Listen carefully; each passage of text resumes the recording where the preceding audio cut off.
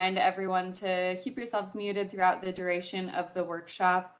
If at any point you have any questions for our guest speakers, please put your questions in the chat and we will get to them at the end of each session. And just to give a quick overview of today's agenda, we'll first hear from Stefan Gildemeister from the Minnesota Department of Health, who will be giving just a general overview of the workshop today and what session objectives and topics will be covered. Um, we'll then hear from Pamela Mink from the Minnesota Department of Health, who will be giving an overview of Minnesota's study on telehealth expansion and payment parity. After that session, we'll hear from Julia Harris from the Bipartisan Policy Center, who will give an overview of the current federal telehealth policy landscape. And then we will have a 15 minute break before diving into our policy informed telehealth research panel, which will feature three panelists. So we have Ateev Mehrotra from Harvard University, Annette Totten from the Oregon Health and Science University, and Jiani Yu from Weill Cornell Medical College. And the panel will be moderated by Jean Abraham from the University of Minnesota. After this panel, we'll hear from Alana Knudson from NORC at the University of Chicago, who will give an overview of the Maryland Healthcare Commission's telehealth legislative study. And then lastly, we'll hear from Jonathan Neufeld at the Great Plains Telehealth Resource and Assistance Center, who will provide some closing remarks.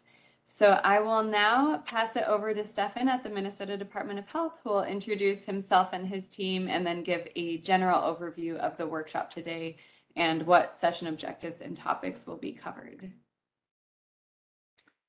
Thanks, Amelia. Um, let me see. You can hear me and you can see me? Yep. Excellent. Good. Um, good afternoon, everyone. Everyone, I'm so pleased to see so many people from across the country who are tuning into this workshop. Uh, I'm also particularly pleased by the panel of experts who were able to join us today and, and from whom we will be hearing in a minute. Um, as Amelia said, my name is Stefan Gildemeister. I direct the health economics program here at the Minnesota Department of Health, and my job today is to introduce the team here at MDH and some of our partners, and then kick off the workshop.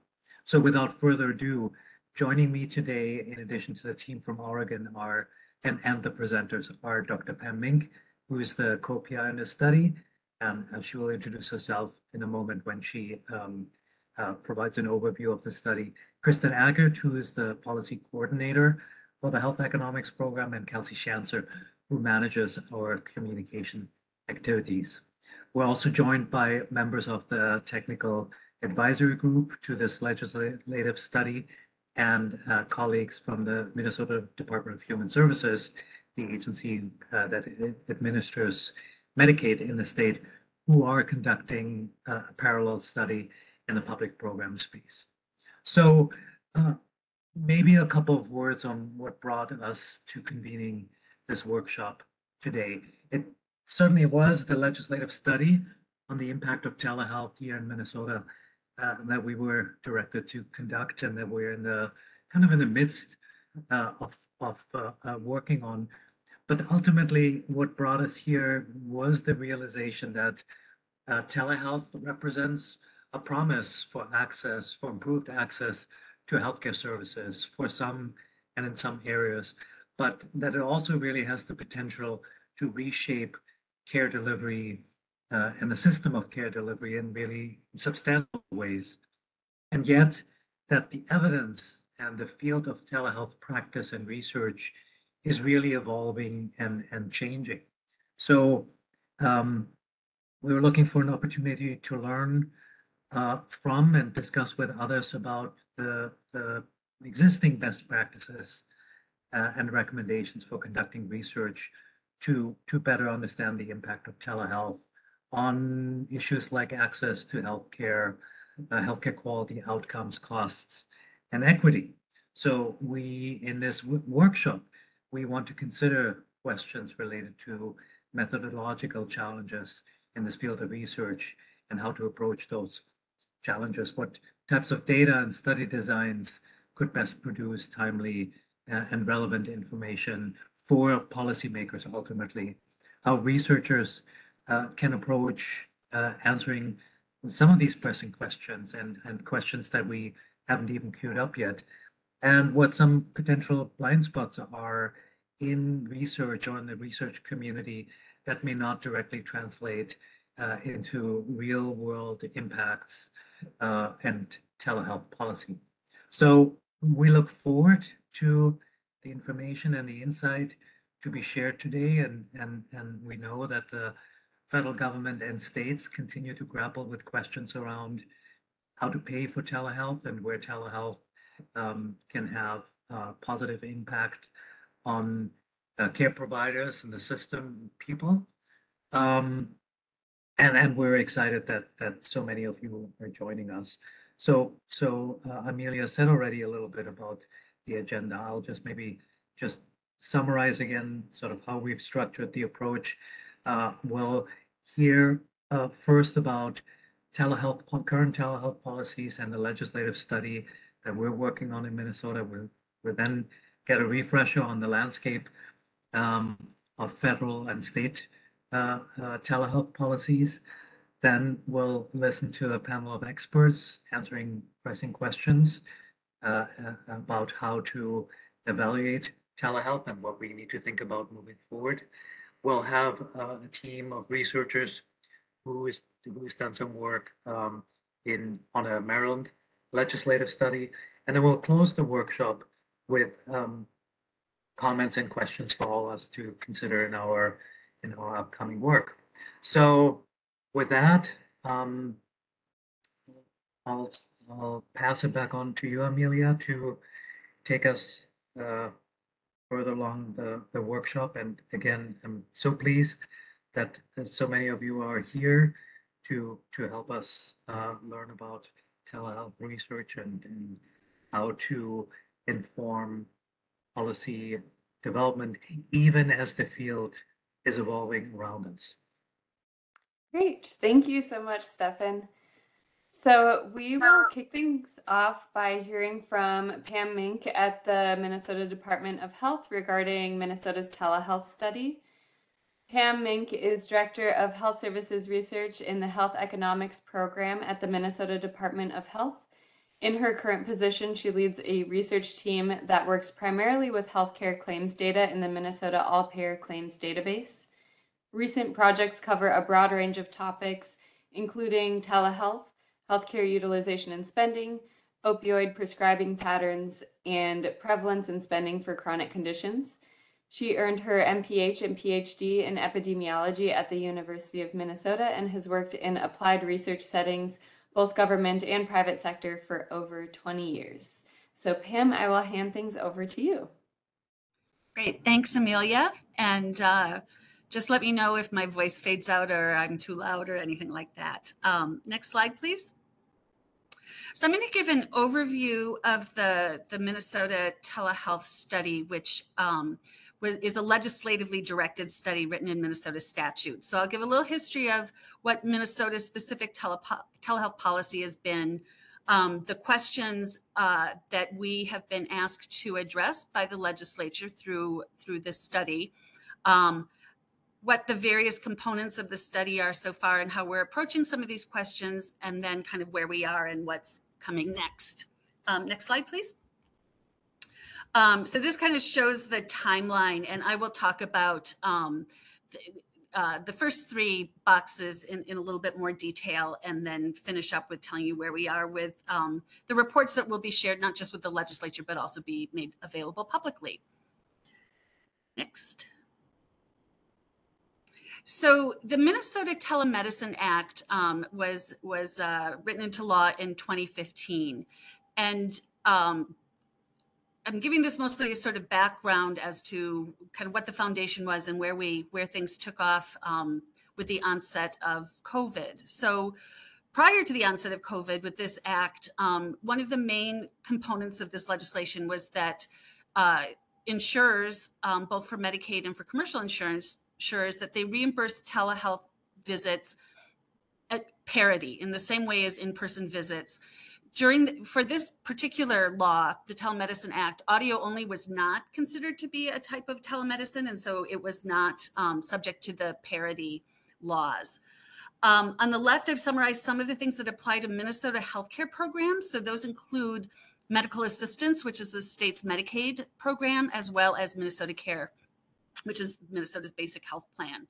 Um, so the the act, and I haven't enumerated everything it covers here, but it it covered for for um, Minnesota healthcare programs both the managed care and fee for service programs. There were some rules and guidelines about who can provide telehealth and who can receive telehealth, where they're located, um, and uh, and and the fact that they need to be an established patient. On the commercial side, um, it covered uh, synchronous or, or uh, real time telemedicine as well as store, store and forward. But in this 2015 um, legislation, remote patient monitoring was not covered. There were no restrictions on the commercial side for originating site. Um, and then there was also a, a component of it that uh, uh, said that patients can't be charged a greater deductible or copay for telehealth beyond what would have been charged for in person. Next slide. So then along came um, the pandemic, or the, at least the first part of the pandemic, and and one of the things that happened um, on the state level as well as on the federal level is a lot of um, uh, a lot of the provisions around providing and, and receiving care through telehealth got sort of opened up and loosened up, especially um, to, to pick up some of the burden when clinics were closed or reduced hours or limiting the numbers of patients they could see in person. So there were there were executive orders um, that really sort of opened up the things about where can the originating site be, what about out of state licensing, um, audio only came into play as as a, a covered um, way of of delivering and receiving telehealth. Um, allowing providers to treat new patients um, via audio only. On the commercial side, um, really the same things basically applied um, as well as like expanding coverage to additional um, specialty or therapeutic areas. Um, and and during part of, of, of the telehealth emergency, there was a wavering of, of cost sharing for certain types of visits. Next slide. So the Minnesota Telehealth Act of 2021 really set about to kind of codify some of those things that came about during the early stages of the pandemic. So expanding telehealth in terms of who can provide it, who can receive it, so the stipulations around that. Extended payment parity to include telephone only visits. Um, this provision has a sunset in June of 2024 um, that will need to be revisited to decide whether that should be continued or or not. Um, and then a big part of the legislation for us is it directed us to conduct a study um, to to evaluate the impact of these policies. For the Minnesota Department of Health, we're asked to do that for um, people covered by private insurance or, or commercial health insurance plans. There's a parallel study with all the same questions um, that the legislature is interested in being led by Minnesota's Department of Human Services, and they're focusing on the populations they serve, so those covered by Medicaid or Minnesota Care. And there's a link here uh, if you want to read the whole all the law. It's it's it's long, um, and there's even a long list of, of questions uh, that we're being asked to address. Next slide, please.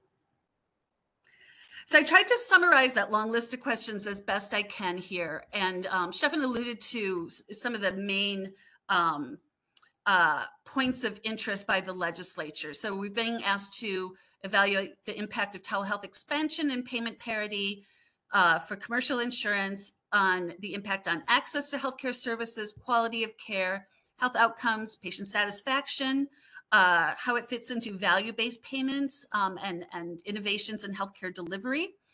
Um, we're also asked to, uh, to study the impact on healthcare disparities and equitable access to healthcare um, for underserved communities, um, the impact of, of these provisions in the law on healthcare costs and premiums, and also the impact on access to and avail availability of in-person care, including specialty care, particularly in rural areas.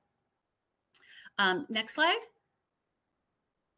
There are more questions uh, also to look at, uh, for, for us to look at the extent to which telehealth delivered services are substituting for or are in addition to in-person services, the extent to which they um, end up being duplicative of in-person services. Uh, also as to look at for what types of services or what populations um, does access to health, telehealth either improve or have a negative impact on health outcomes? Um, a lot of questions, uh, uh, or a big part of the questions is on audio only communication, um, whether this should be continued, whether um, to what extent it does eliminate barriers to care without reducing quality, without worsening outcomes, or without decreasing satisfaction. And then finally, how, how um, commercial payers ensure that telehealth services are appropriate to the patient needs and remain optional and, and, and don't become the only, the only way that um, uh, certain patients can receive certain types of care. Next, uh, next question, next slide. So it's a lot. It's a big. We're we're asked um, to answer a lot of questions, um, and we're approaching it um, from a number of different angles. So uh, to a large extent, we're looking to learn from research, the you know the research community, what research studies have been done, um, and also um, in engaging with uh, the Center for Evidence-Based Policy to to do a really focused review on audio-only telehealth. Um, we're, we're interested in learning from other states and, and what they what, what they have learned, um, and also to just have a good understanding of the telehealth landscape in Minnesota, who's using it, who's providing it, for what types of services, how has that changed, is it continuing to change? Um, we have embarked with um, uh, Wilder Research, a, a local um, research firm to, who really specializes in qualitative research. Um, and they conducted a series of interviews with Minnesota patients, providers, and payers. Um, also, we may in the future do some additional sort of surveys or key informant interviews or discussions. For the quantitative part of this study, we have, um, as, as Amelia mentioned in my introduction, we have the Minnesota All Payer Claims Database. So we have access to healthcare claims data. And we also, um, through partnerships with other researchers, um, potentially have access to um, uh, clinical information from electronic health records. Uh, we're, we're, talking to an actuarial firm to evaluate the impact on premiums. Um, and there are a number of existing surveys that the Minnesota Department of Health puts out of, of Minnesota residents, of, of um, providers, of clinics. Um, so making use of those and, and adding some telehealth questions where possible. We have a technical advisory group that Stefan mentioned um, to provide sort of input and insight on all aspects of this study um, through along the way. Uh, we have the workshop here today where we're really looking forward to listening and learning about um, uh, really to sort of guide the next phase of the study. And then we'll continue to have stakeholder engagement throughout. Next slide. So what have we learned so far? Um, the, the Wilder research part of the study, the qualitative part has been completed. And I summarize just some of the high level findings here. Um, so, so in talking to Minnesota residents and providers and payers, um, people did talk about how telehealth um, and having telehealth available to them um, in 2020 and, and beyond has increased access to care. Um, it, it allows for more flexibility of, of when they can schedule appointments, uh, reduces waiting times um, or the time you have to wait to actually have a visit. Um, it makes the whole visit process take less time because you don't have to factor in transportation. Uh, it eased those transportation and child care challenges. Um, and it reduced, especially during um, the peak um, waves of COVID, it reduced any risks associated with going into the clinic or into the hospital for in-person care. Um, we heard from from participants in the survey that that they felt that telehealth visits were well suited to several types of routine care, including managing chronic illness, managing medications, um, providing mental health care, um, follow-up care, uh, such as after a procedure or hospitalization, um, and, and particularly useful with established patients. Um, perspectives on how do we pay for this um, or how much should we pay for this varied. Um, patients generally talked about appreciating that telehealth was an affordable option available to them. Um, providers emphasized um, that they felt reimbursement should be based on the level of service and the expertise of the clinician. And so it made sense for it to be the same as what they were providing in person. And payers expressed that they would be interested in a more flexible approach, um, not a mandated parity, but to give them options and, and, and, and the ability to work with providers to come up with a, um, what they would consider to be um, appropriate reimbursement for telehealth services. Next slide. Um, we also learned from some of these other data sources between the Minnesota APCD and some of the serv- uh, surveys um, information that I think is, is really consistent with what's been seen on a national level and in other states. So telehealth in, uh, use has increased dramatically. Um, in 2020, it's leveled off to some degree, but still much higher than, than pre 2020. Um, telehealth was really um, used a lot for delivering mental and behavioral health services, and those are still um, uh, are, are a large a large proportion of, of mental and behavioral health care services are still being delivered through telehealth. Um, and satisfaction has been high for telehealth and, and similar for audio only and video. We did find that um, Black, Indigenous, and people of color um, residents of Minnesota were somewhat less satisfied than white Minnesotans, but it was a difference of about 70% saying that they would do a telehealth visit again versus 80% um, of, of white Minnesotans saying they do visit again. So there are a lot of questions that still remain. Um, I won't uh, I won't read this whole list here. It's it's really kind of another version of, of a lot of the questions that were posed in the legislation. Um, but I think going forward into this next year, we really do want to um, focus um, more intentionally on, on questions of quality, questions of outcomes, ensuring equity, um, and really, you know, understanding if there are certain types of uh, telehealth for certain types of service um, that it's especially well suited for, or or patient populations um, that that do especially well with with telehealth, or um, especially not well. Next, uh, next slide. Um, so how are we approaching this? Um, the, the main focus really in this next year, in addition to kind of filling in some of the gaps from the qualitative work, is to focus on the quantitative side of things. So the actuarial analysis that I mentioned, looking at um, what we can learn from data from electronic health records, looking at what we can learn from the all payer claims database and any additional surveys and follow up. Um, and really, uh, you know, looking forward to learning from this workshop any you know special uh, recommendations any special cautions um, uh, any any input at all is is really what we're here to learn.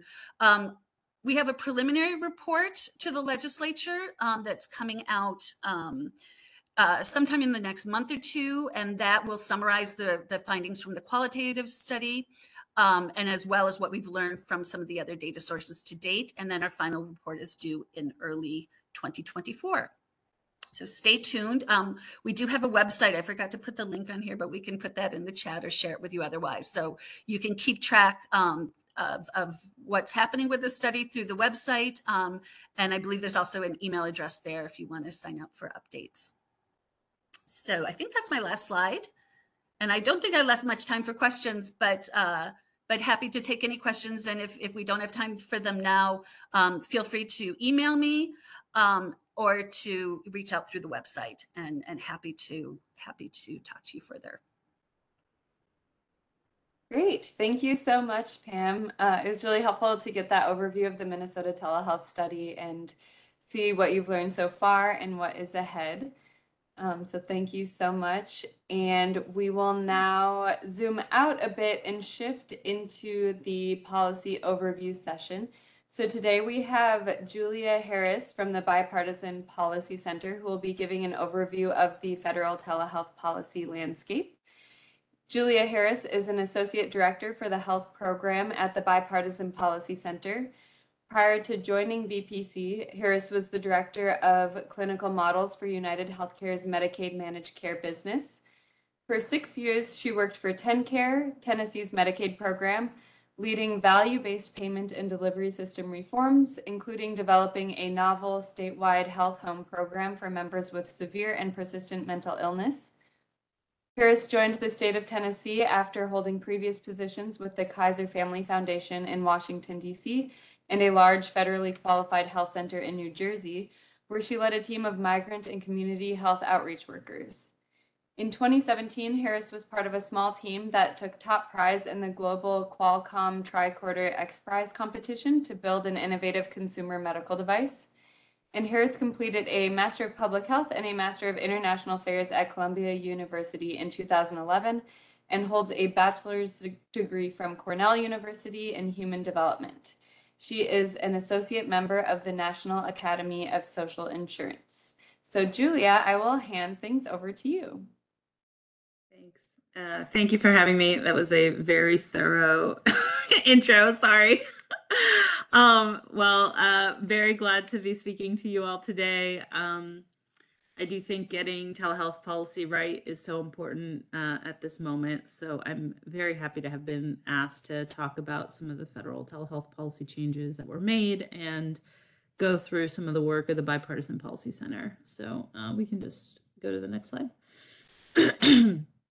so the Bipartisan Policy Center is a DC-based think tank. Uh, our mission is really to cultivate uh, common ground across political parties. And so telehealth is thankfully uh, one of the most bipartisan areas of health policy in Congress. Uh, Republicans and Democrats seem to see the value in virtual care, uh, along with millions of Americans that have been getting their care through virtual visits uh, throughout the pandemic. It's often referred to uh, inside the Beltway and across the country as a silver lining of COVID 19. So it's an exciting area to be working in. Um, go to the next slide.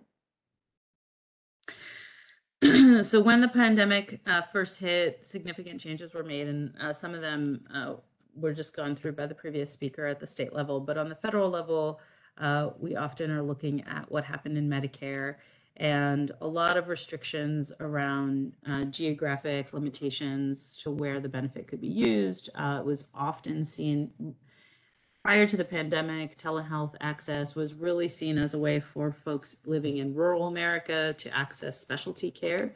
Is really the paradigm that had been created for its use, um, and also for certain uh, for folks with certain diagnoses to access uh, care.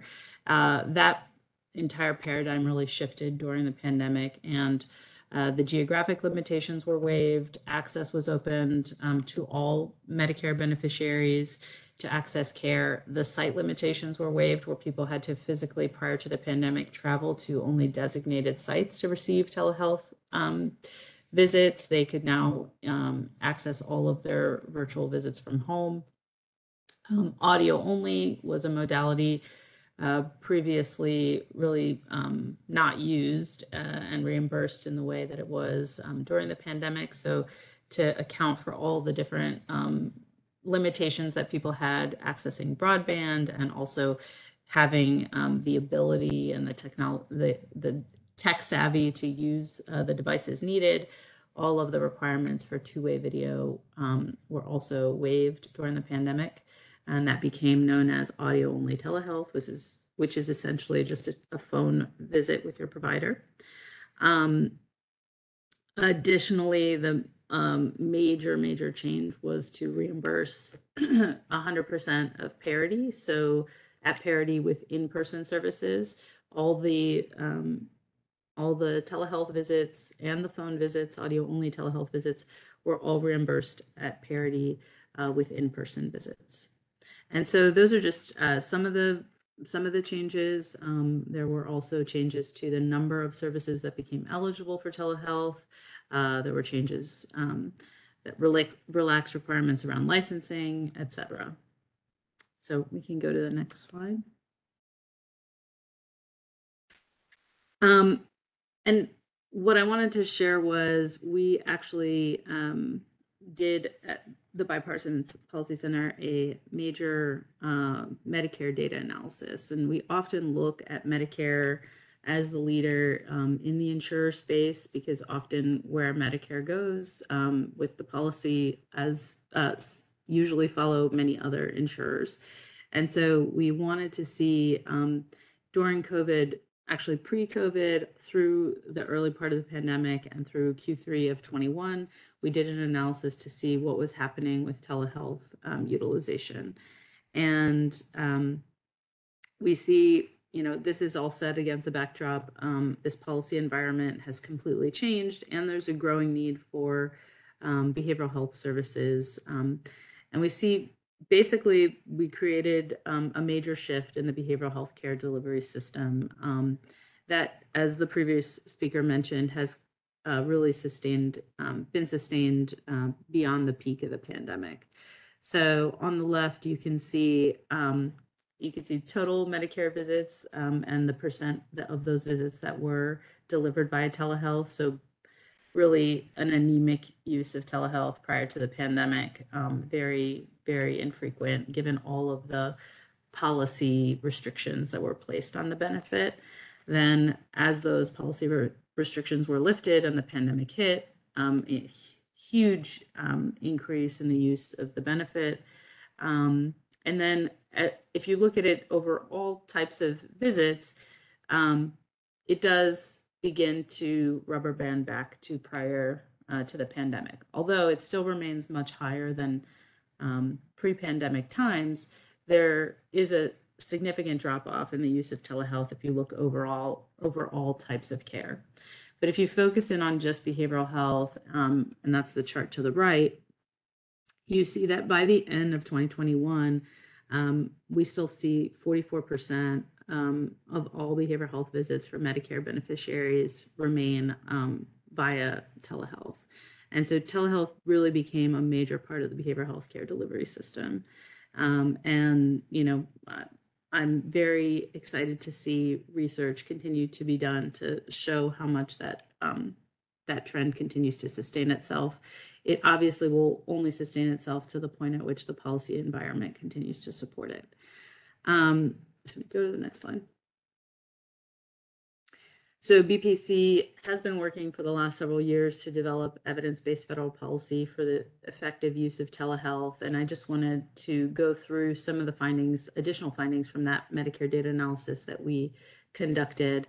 Uh, we found um, beneficiaries, which traditionally is not a group that I would have um, you know, pegged for Medicare beneficiaries, not traditionally being a group I would peg for using a lot of telehealth prior to, um, to the pandemic, but they still continued to use um, uh, telehealth at 40 times the rate um, pre-pandemic, um, post-pandemic as pre-pandemic. And then we did see actually once you took away all the restrictions of um, of of the policy uh, restrictions on the benefit, primary care actually made up the largest share of telehealth visits in Medicare. And most of those are happening within the context of existing uh, patient provider relationships. So established uh, established patient provider relationships, which tends to be a talking point um, in policy circles, is how do you continue um, the the use of the benefit, and should it um, should should people who don't have a prior relationship with a patient um, or sh- with a provider continue to be able to access that care virtually. Well, we found at least in the Medicare beneficiary population um, and for primary care visits, the vast majority of those visits are happening with providers that you already know. If you go to the next slide.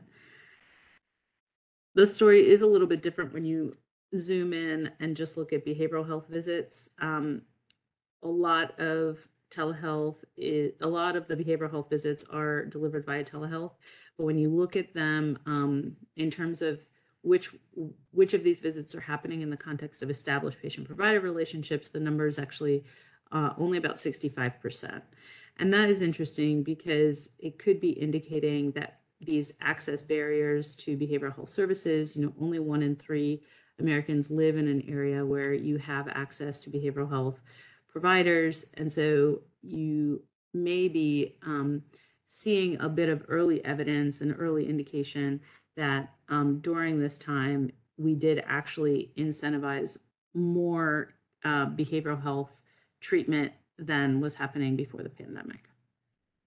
Um, the other thing that has been a really um, big interest uh, to continue to study is around the audio only modality. So a lot of care was delivered via telephone visits. And so this is prior to the pandemic, something that was uh, really just not done um, and not paid for separately.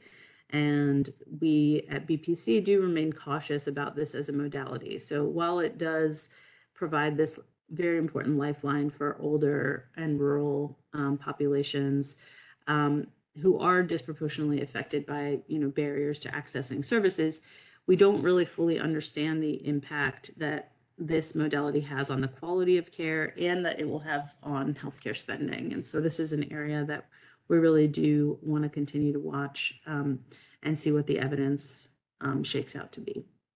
Go to the next slide. So we found that, and this is consistent across uh, other payers as well, that really when you take away the restriction of this uh, benefit being something that's just for people living in rural areas, that actually the use uh, is much higher in urban areas. Um, so telehealth visit rates were directly correlated with population density. So the closer that you get to this um, to a city, you are actually using relying on telehealth more, which is interesting. Um, also, an interesting finding, and this is not consistent across all payers, but it did come through um, significantly in our study of Medicare data, is that um, most uh, minorities are more likely to use telehealth than uh, white non-Hispanics. And then other interesting findings were that, you know, those who have um, beneficiaries that have disabilities, um, they're eligible for Medicare because of a disability. Um, they're dually eligible for both Medicare and Medicaid, so low income and Medicare uh, eligible. And those who have more chronic conditions um, are more likely to use telehealth services. We can go to the next one.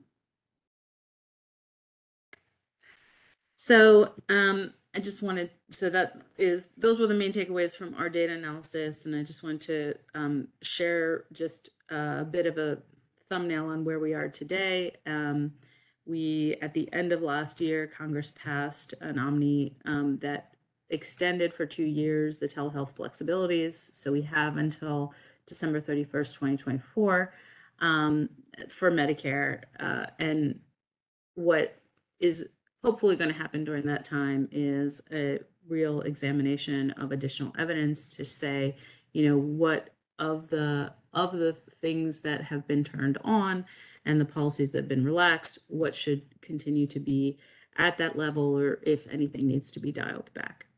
Um, just at a high level, a couple other major things that happened at the end of last year um, in the omnibus. Um, Congress passed uh, additional support for the um, behavioral health crisis line 988 lifeline program. They also extended coverage uh, of for Medicare um, to marriage and family therapists and licensed mental health counselors. The X waiver went away, which was a huge change. So um, a big barrier to um, substance use treatment, and um, many more slots were added um, for residencies in psychiatry. Um, we go to the next one. And then just a few things as we go through between now and the end of uh, the telehealth flexibilities ending or when we need to have another decision made by um, federal policymakers about what will happen next. Um, actually, just on Friday when I finished these slides, um, I learned at the end of the day that uh, there were changes. Uh, the proposed rule finally came out for um, what will happen for uh, after the pandemic to SUD treatment um, and controlled substance prescribing. And so the DEA did release uh, proposed rules around um, controlled substance prescribing.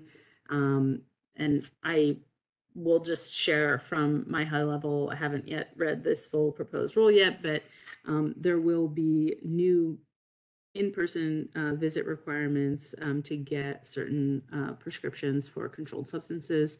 Included in that is actually for buprenorphine and the treatment of uh, OUD. So that was an interesting um, addition, and we will be commenting on that. Um, and then the the other thing to keep an eye on for this year is that uh, most of the reimbursement decisions, so everything um, has continued to be reimbursed at parity with in-person visits. So both the audio only and the um, telehealth um, visits for Medicare and we will be looking to see what happens in the Medicare physician fee schedule at the end of this year um, to see if any of that changes for 24. And I think that that is, it. is there another slide after this? Okay, yeah, so I just went ahead and wanted to share some of our work um, and uh, hopefully these slides will be just distributed and people can see. But, um, you know, I'll just say that one of the things that um, we've been looking at is while while this time during the pandemic has been absolutely necessary to um, loosen the flexibilities and many different um, simultaneous changes to policy were made. I think um, it you know it was rightly rightly done, um, but now is the time to really look critically at telehealth policy to determine uh, what kinds of guardrails we really need to put into place um, and figure out what's the right dose of telehealth and how exactly um, people should be accessing it. So I will end my uh, remarks there. And if anyone has any questions, happy to take any questions. Thank you so much, Julia. Um, we do have a few minutes for questions. There was one question in the chat from Ryan Jelinek.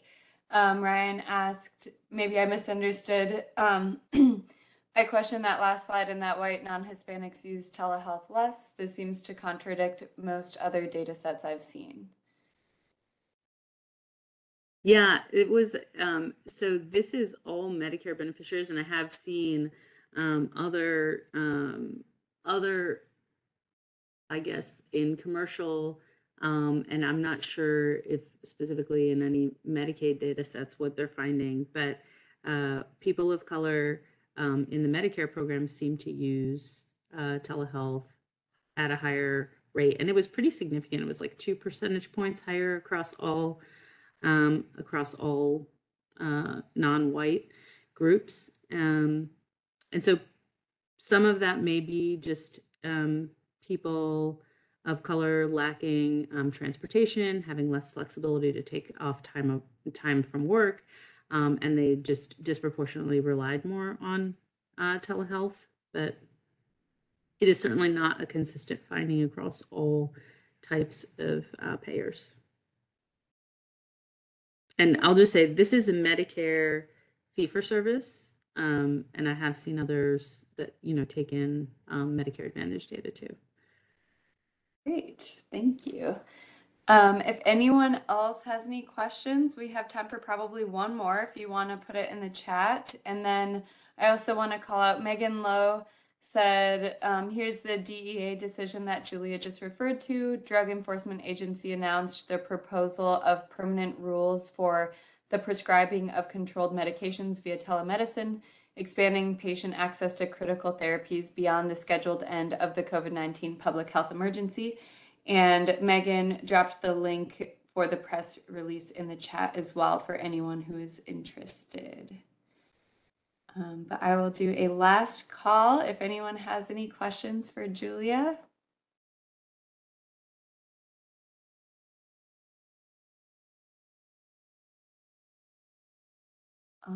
Right. Well, thank you so much, Julia. We're so happy that you're able to join us for the workshop today.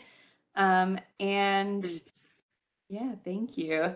And now we will take a 15 minute break. And then when we reconvene at 2 o'clock Central Time in 15 minutes, we will dive into the policy informed telehealth research panel. So we will see you all in about 15 minutes.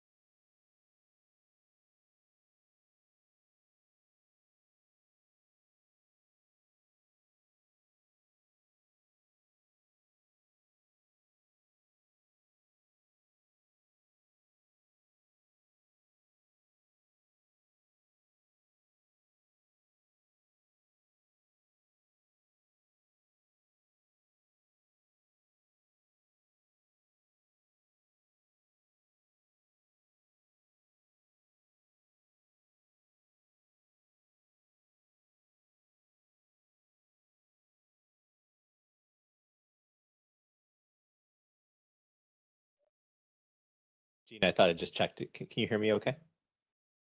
Awesome. Thanks.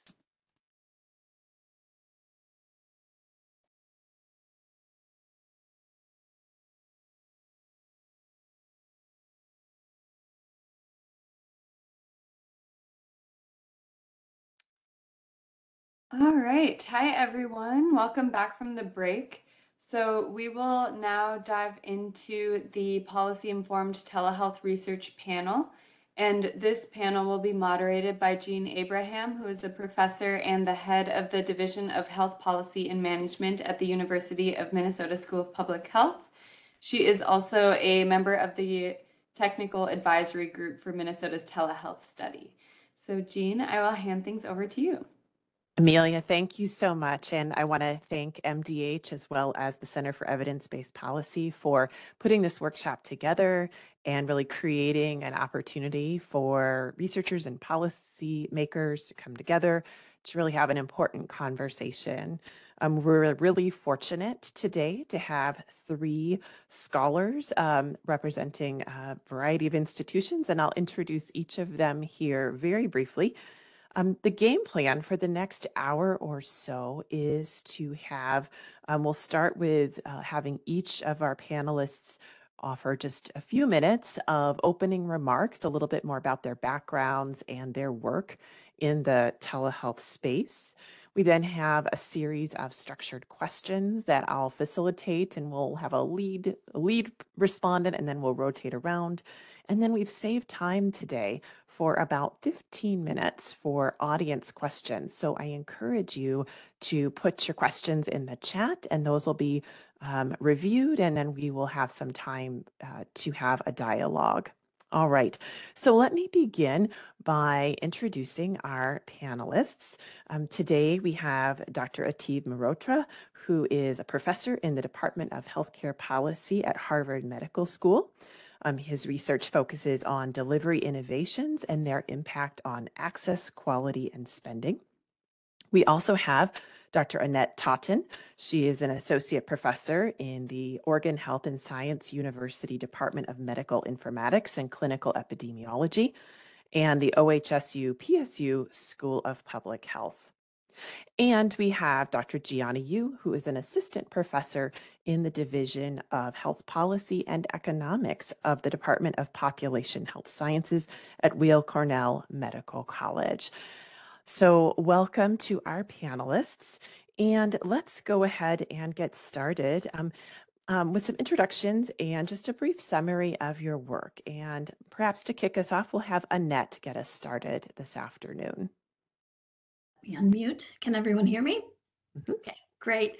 So, um, as a health services researcher, I'm more on the social science and organizational side of things than the clinical. And I've had an interest in system issues and practice change for a while. Um, I've been at the Pacific Northwest Evidence Based Practice Center, which is at OHSU in the Department of Medical Informatics and Clinical Epidemiology since 2010. My first systematic review there was on public reporting of quality measures, and examples of other sort of systems reviews that I've done have been on health information exchange, home based primary care, and right now I'm working on behavioral health integration into primary care. Um, before I arrived at Oregon, our former department chair led one of the early technology assessments that AHRQ did on telemedicine was telemedicine for the Medicare pop- population done in 2001 and then updated in 2006. So the sort of confluence of my interest in sort of more systems issues and the EPC having done some work in telehealth led to my involvement in reviews. And if you look at final reports right now in AHRQ um, on AHRQ's evidence-based um, program, there are five large reviews, and I've led three of them and contributed to one other. So I started off in 2016 doing an evidence map of systematic reviews in response to a request from Congress to AHRQ. Um, and that request was made at the behest of the Telehealth Association for evidence that telehealth works, which is always fun to get a request like that. And then from that review, that led to AHRQ requesting a review on telehealth for consultations. And I let that one was completed in 2019, um, which had been one of the topics in the map. We said it looked like there was evidence, but hadn't been synthesized. And then most recently, I led a review for the NIH Pathways to Prevention program on provider to provider telehealth for rural healthcare delivery. Um, and then I've made some small contributions to review led my, by my colleague Amy Cantor on telehealth for women's preventive services. And I had absolutely nothing to do with the very interesting review on telehealth during COVID that the EPC at Johns Hopkins completed. Um, so the topics that I've focused on as a systematic reviewer or someone who works on evidence synthesis projects is first of all, I read a lot of studies, a lot of bad studies, um, and occasionally a few good ones. Um, so I don't want to use up the intro to get into specifics, but just a couple of, because I think we'll dive into these things as we get into the questions. Um, but EPC, Evidence-Based Practice Center work is um, centered on identifying, evaluating, and synthesizing evidence. And so that's focusing on what's been done. And we did that with the evidence map and then delving into some specific applications or functions of telehealth like consultation or then maybe use in a particular setting like rural health. And to be honest, they asked in our intro to say what our key learnings are. And, you know, they're pretty common to systems change and practice change. And maybe even I'd say cliched, you know, change is hard. Even when it seems like it's logical, that doesn't mean it's easy. Um, and then systems are designed exactly to produce the outcomes that they, you know, produce. So, you know, good intentions, training, champions might be necessary, but they're not sufficient.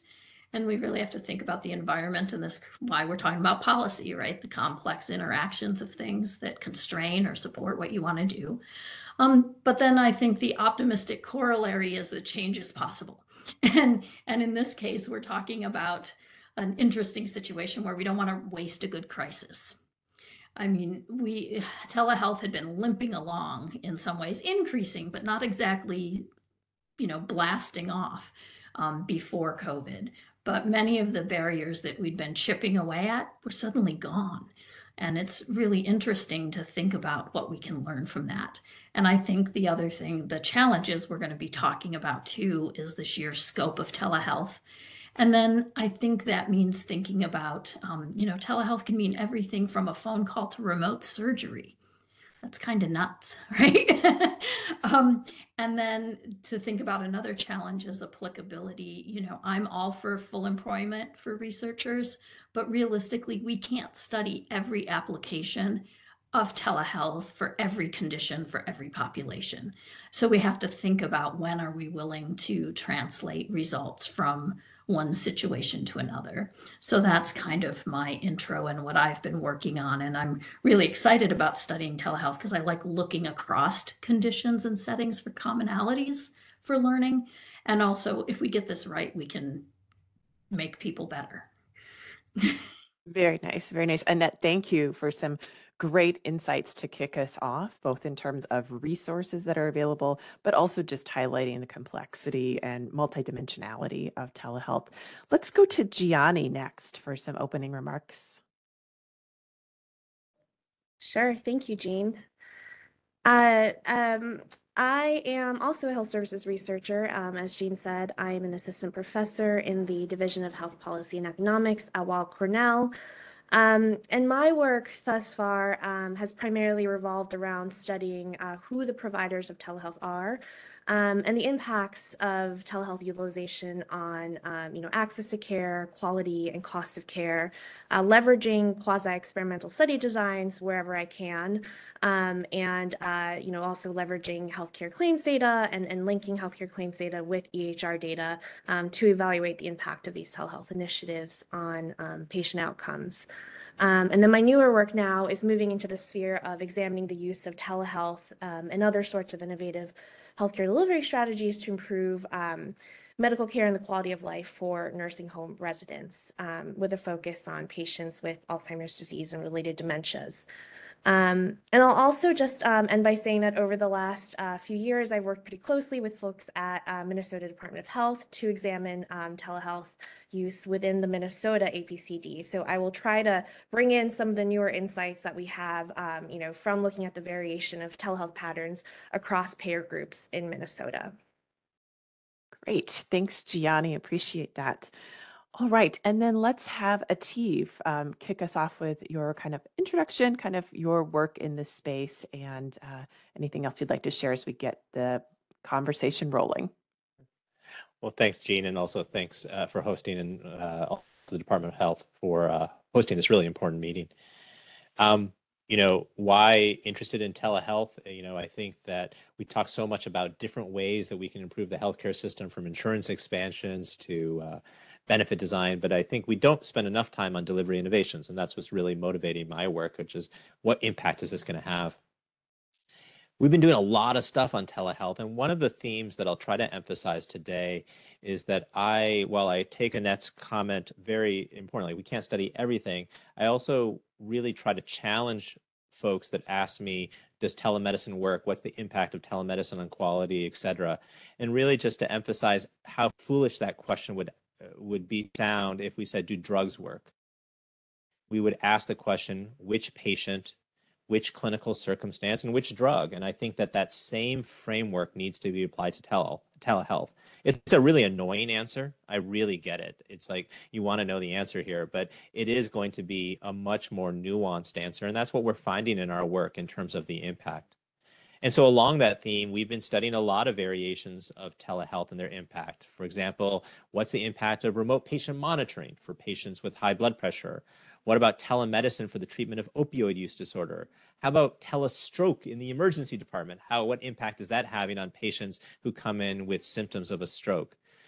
Women who just had a baby and they're breastfeeding, what's the impact of telelactation? Um, and we've also been looking at disparities in the use of telemedicine and regulatory changes such as uh, licensure laws. So a broad array of different kinds of projects. Um, in terms of just some emerging lessons, and I hope that we can start to get into this a, a lot more um, as we move forward. Um, there's a lot, first of all, a lot to learn, but I guess the couple of emerging lessons is that I have not seen any evidence that telehealth saves money. In some cases, we found it's net neutral. In some cases, we're seeing it's increasing spending, but I do try to, ch- at least I haven't seen any evidence that it's reducing spending. The second is on variation in quality in some of the applications we've looked at, we found that telehealth improves quality and results in uh, increase in um, uh, and improvements in mortality, at least in one case. But in many other cases, we're seeing it leads to greater utilization with no clear evidence that's really resulting in better outcomes. And lastly, on the access side, a kind of emerging lesson, which is maybe one of those Dove findings, which is when we offer telehealth to all patients, I'm concerned that the data we're seeing shows that those who are more advantaged are more likely to use it. And this could widen disparities as opposed to narrowing disparities, which is what I've hoped we could use telehealth for. And so those are a couple of lessons which I, we, we can build upon or touch, uh, come back to later on. So thanks again, Jean. Great, thank you, Ateev, and and excellent, uh, excellent kind of themes that I'm sure we will get back to um, during the next 45 minutes or so. All right, so let's go ahead and, um, you know, as was alluded to, there are lots of issues. There's lots of applications, um, but I'm going to ask Annette to maybe kick us off as we think about, you know, when we think about evaluation and we think about the different kind of system performance outcomes, whether it's access, quality, patient experience equity or spending, you know, what do you think? How do you think about the particular research questions that we need to ask and then be able to answer um, to inform decision decisions? And when you think about that, you know, how you know, as what came up in the introduction, it makes me think about, you know, how broad versus narrow does it need to be or nuanced um, in terms of where we have evidence and where don't we have evidence that we need to still fill. So Annette, let's have you lead it off and then we'll rotate around to the other panelists. Oh, you're on mute, I think. I think we'd be good at this by now, right? and still, you get a little stage fright and you forget to hit the button. Um, so I definitely agree that you know, it, asking if telehealth works is like asking if a drug works. But then there are some things that are like asking if the generic or the main brand name brand work the same. You know, if remote patient monitoring works for congestive heart failure, how different is it to use it for COPD and can we learn, you know, across that? Are there some functions that are similar enough um, that we can try to make some generalizations? And that's just a question for people to think about. I'm not sure we know the answer. So, but I think when we think about evaluations and and what we want to know, the, the hardest part, and we've sort of alluded to it, but we haven't said it outright, so I want to say it, is in a lot of the studies I read, it's amazing, but I can't tell what people think the telehealth was going to do. It's not clear if the goal was to increase access, whether it was to replace in person activities, supplement in person activities with additional care, provide data, reduce costs, or somehow better distribute scarce resources. And it's really hard to do any type of an evaluation if you don't know what your goal was. And most, a lot of telehealth um, literature doesn't say what the goal of telehealth was. Um, so that's kind of the first hurdle we have to get over for each application that we're talking about. I think we have to go into it with an idea of, you know, at least a model in our head of what we hope to accomplish. Then you can think about what's the best question, what's the best comparator, what's the best outcome. And then I think telehealth research, like all research, sometimes suffers from using the data that's available and not the data that would answer the question that's important. So my example of this is the telestrokes work. A lot of the telestroke measures door to needle time, which is, you know, telestroke is supposed to get people to treatment faster, but then it reports inpatient mortality and doesn't find much difference. And maybe that's because the people who are going to die from strokes die from strokes and what getting them treatment faster does is reduce disability but that's harder to measure right? Disability at six months. So we have some problems in the telehealth evaluations of thinking about what outcomes really matter. Um, and that's that's i think important. And we have found you know so the map i did back in 2016 is kind of out of date now but there was a lot of research already on some topics like remote patient monitoring, like communication and counseling for people with chronic conditions and behavioral health. So the question is at what point do we sort of stop studying effectiveness and focus more on implementation and sustainability for certain topics? And those are very different, that's very different types of work. Um, then when we got into consultation work, we got a bit more granular. And, you know, we found things like remote ICUs reduced mortality or specialty telehealth can reduce ED time or, you know, telehealth consults, you know, part of EMS can reduce heart attack mortality. But, you know, but they're, like you said, they're for very specific things. And then other things, there isn't evidence and you have to decide where do we need more evidence. Um, and then I guess the third one I worked on that I'd say would help answer this question is for rural health. You know, there wasn't a lot of information on who was actually using it. Getting good data on who's using telehealth how in rural areas was not easy. Um, and again, there's very specific areas that have been studied that you can find benefits. Um, keeping neonates in rural hospitals is an example where the study seemed to suggest, you know, telehealth works. Outpatient care for depression and diabetes, emergency care again for stroke and heart attack. And then we also looked at other things like education and mentoring for that. We looked at like ECHO programs and, you know, and, and whether those can improve confidence or change provider behavior. And there's much fewer studies that look at patient outcomes from those. But across all of these studies, the barriers are pretty similar. The details might be different, but it's time, technology, and resources, right? and and then the other issue is because telehealth is a systems issue, right? Um, it's a mode of delivery. It's not an actual care. You know, you have to think about what's the most rigorous design, and it's probably not going to be an individual level RCT most of the time. But on the other hand, these relatively descriptive pre-post studies with no control for risk of bias or hist- historic changes probably don't help us or help decision makers move forward. So that would be sort of my overview of what's happening with evaluation and where there's still gaps. Excellent. Thank you, Annette. And I know you've got kind of the big picture view given all of your work uh, with EPC uh, mm-hmm. reporting. Um, let's go for any additional thoughts from Ateev or Jiani on kind of the, you know, where do we have evidence and where do you still see critical gaps when you think about the landscape? Either of you? Jiani? Uh, well, I'll just make one quick point, which is, um, and maybe building off Annette's thing, uh, where she was also talking about bad studies.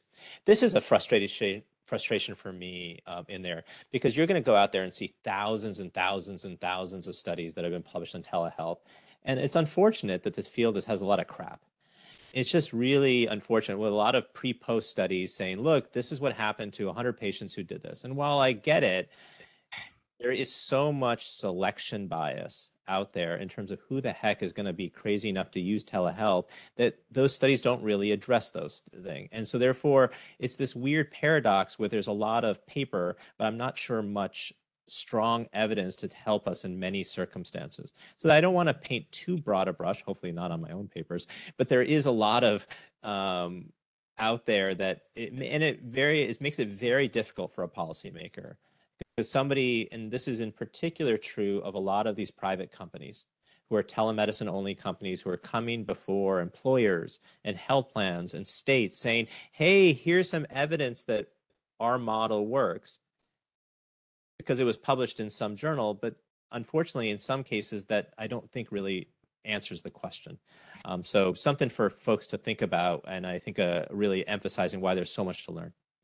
Very good. And we'll get back to study design here shortly, but I would I would concur. There's a lot out there, a lot of variable quality and um, challenging to kind of sort through, sift through because of the pure quantity of studies out there now. Jiani, any uh, thoughts on the this big picture question before we move on?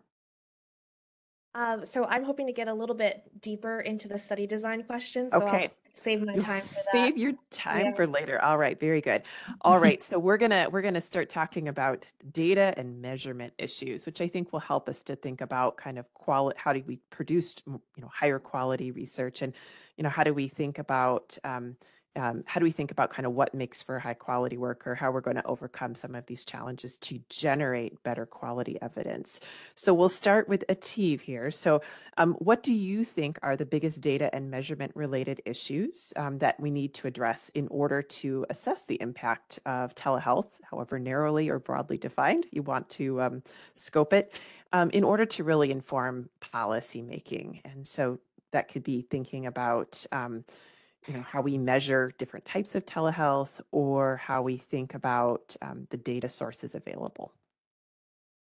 Yeah, there's a number of things here. So I'll try to just touch upon a couple of uh, key things, Gene, and then others, I'm sure Annette and Jiani will uh, jump in with some other stuff. Um, I think the point that has been made to me by many folks, policymakers, is we've had this huge experiment in telehealth in the last three years. Can't we exploit that to make uh, uh, what see what's what impact it's had? So we're moving away from RCTs and going to observational studies, and those data generally come from electronic health records from big health systems, or from claims data from health plans or Medicare, et cetera. And there's a lot of issues that come up that I think people should be aware of. The first is how the heck do you distinguish what kind of care is happening?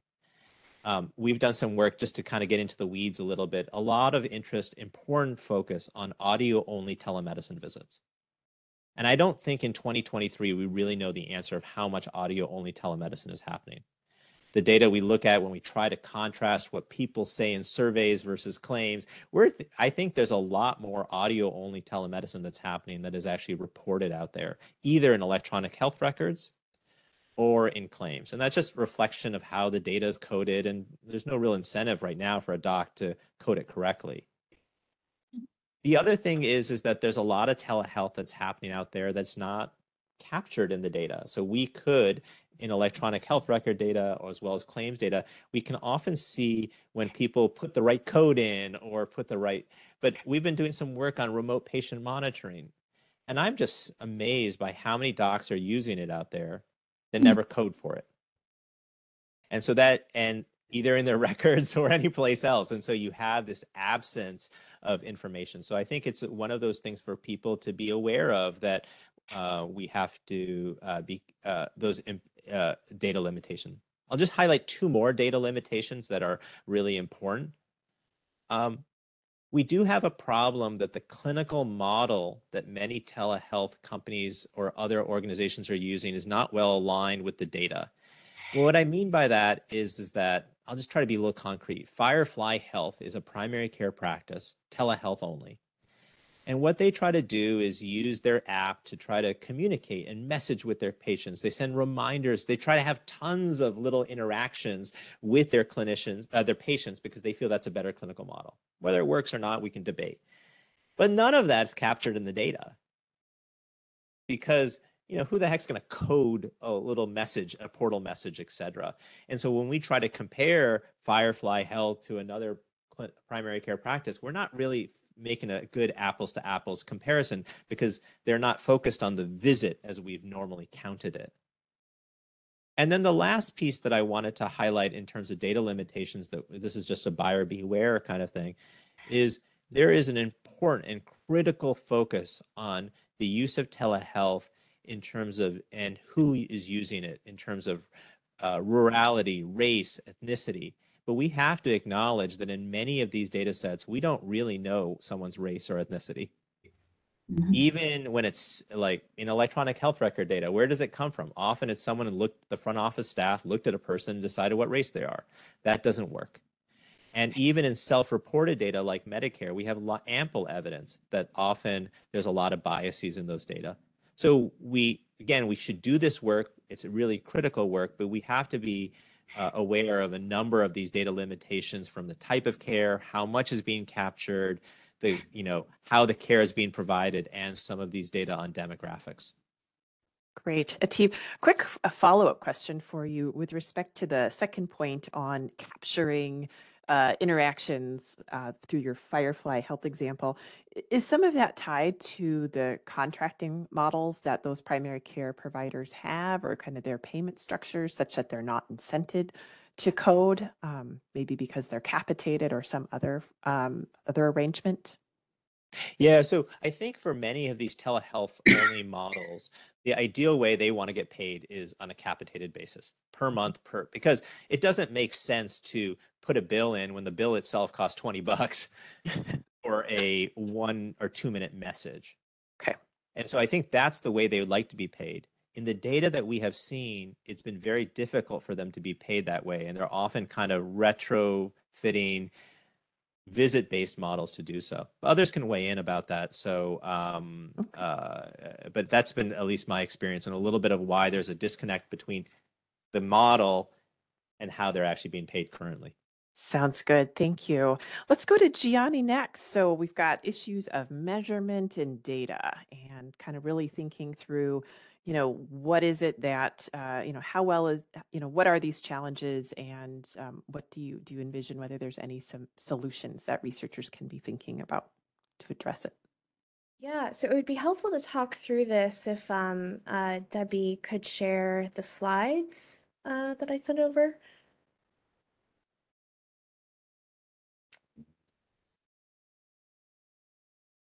Great, thank you. Okay. So, um, you know, talking through, um, and I think this actually uh, is a really nice follow-up to what Ateev just was talking about, and talking through some of the possible data sources um, where we can, you know, uh, construct quality measures to start to get at what the impact of telehealth is on the quality of care. Um, many of the quality outcomes that are, uh, you know, widely used in telehealth research is um, also, you know, aligns very widely with um, health services research more generally. Um, so I have here just a few quality measures um, that are that are pretty widely used, and I, I won't get into each of them specifically, um, but I will say that they are they all rely on uh, different types of data. So you can see potentially preventable emergency department visits, unplanned hospital admissions uh, will rely on claims data typically.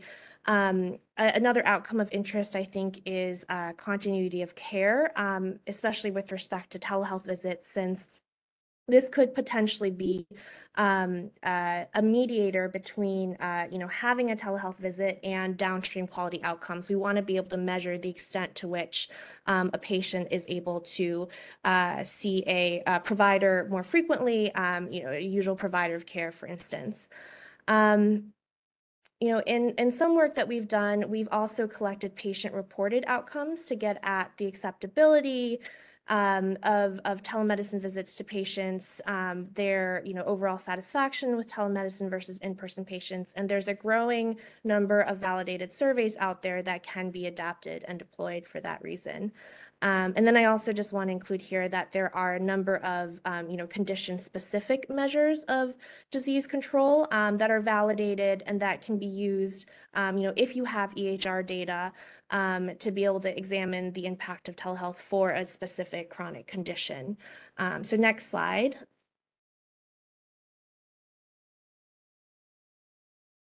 And then just really quickly, some of the pros and cons of using claims data versus EHR data. And At- Ateev already talked about some of this, but you know, pros, it's really easy to identify telehealth visits using a combination of um, data elements in the claims data.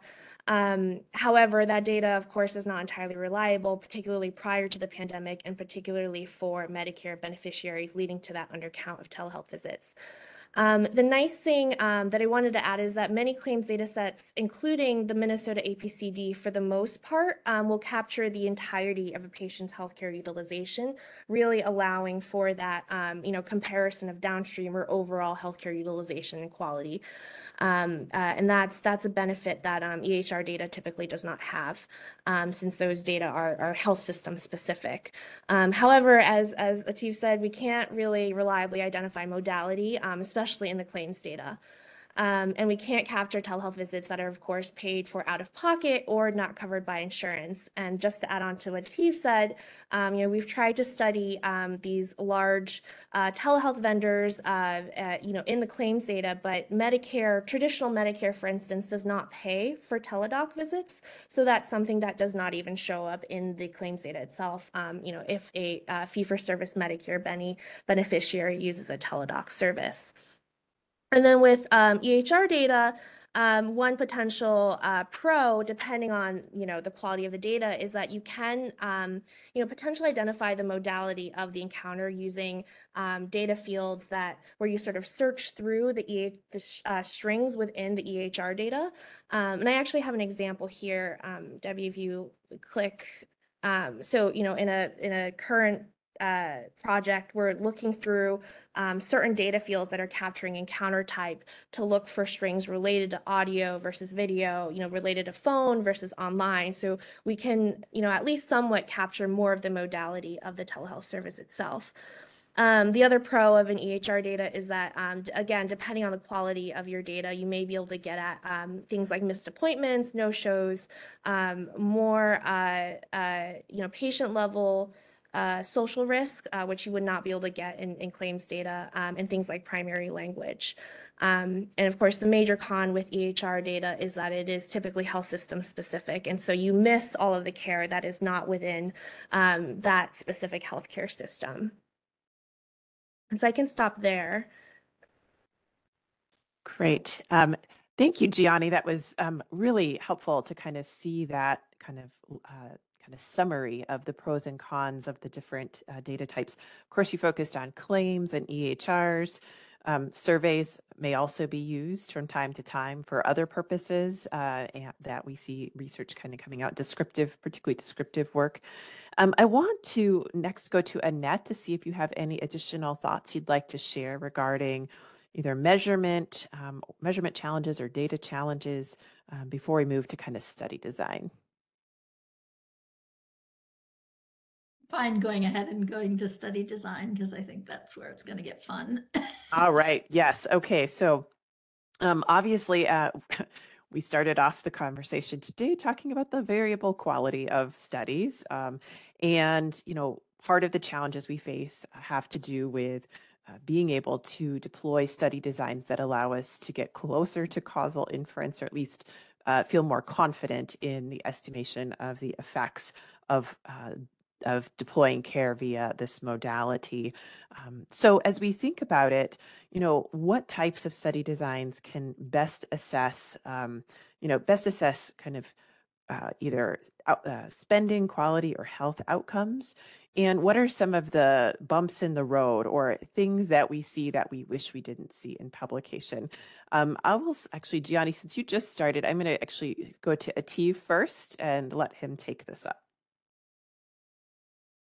Yeah, I um and if Debbie could put up slide 38, that'd be really helpful um, for me, at least. uh, Maybe a picture is helpful in this context.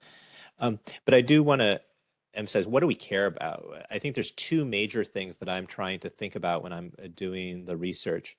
The first is um, how do we address the selection issues that people, if you just study those who are using telehealth, they are likely to look healthier and do better because they there's something about them so uh, that led them to use telehealth. So I think that's one major issue: selection issues of who uses telehealth.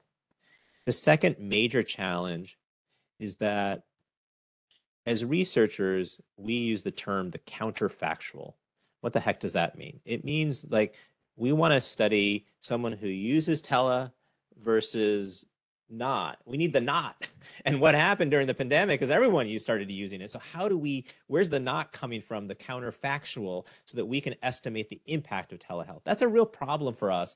And I think when I've been asked, can't you use the uh, pandemic experience to exploit that? It, it does create a bit of a quandary.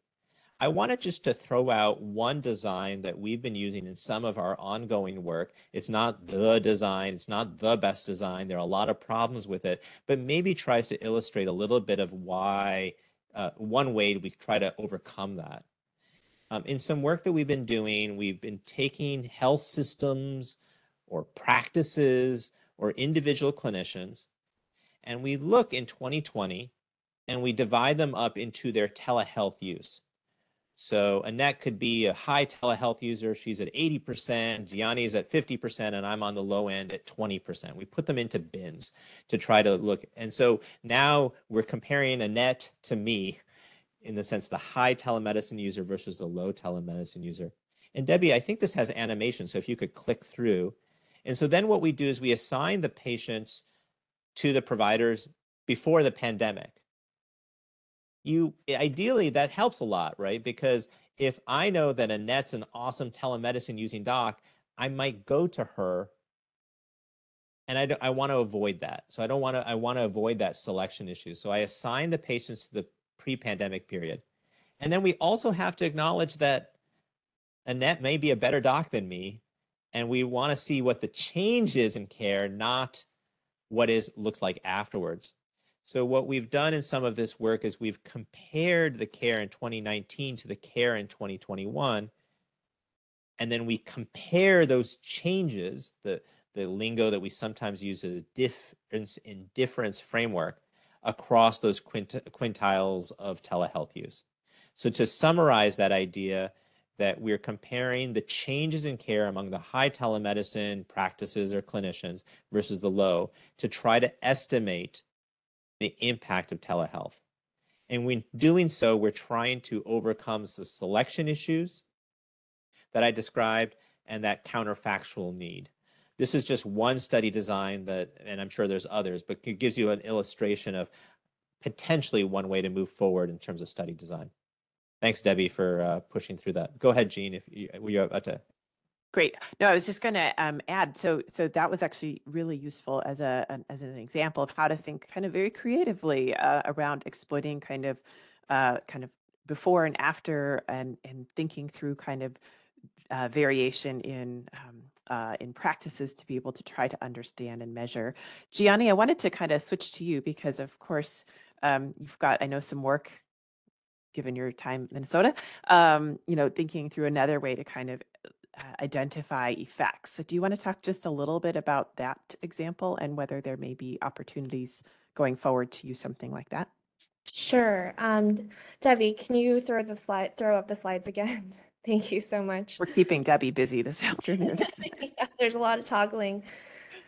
Um, so, uh, and we can click through this. So next slide, next slide. Um, and Ativa already did a very good job of, um, of introducing counterfactual and um, selection bias to us. Um, this is again just like a very quick primer on you know why we actually need causal study designs to either randomize or as if randomize telehealth uh, to, to patients um, uh, whether that's the telehealth visit itself or simply the exposure access to telehealth. Um, and so, a key question that I always like to ask myself when I'm working on a study is, you know, if we do find any association between telehealth visits and patient outcomes, is it the telehealth itself that causes the outcome?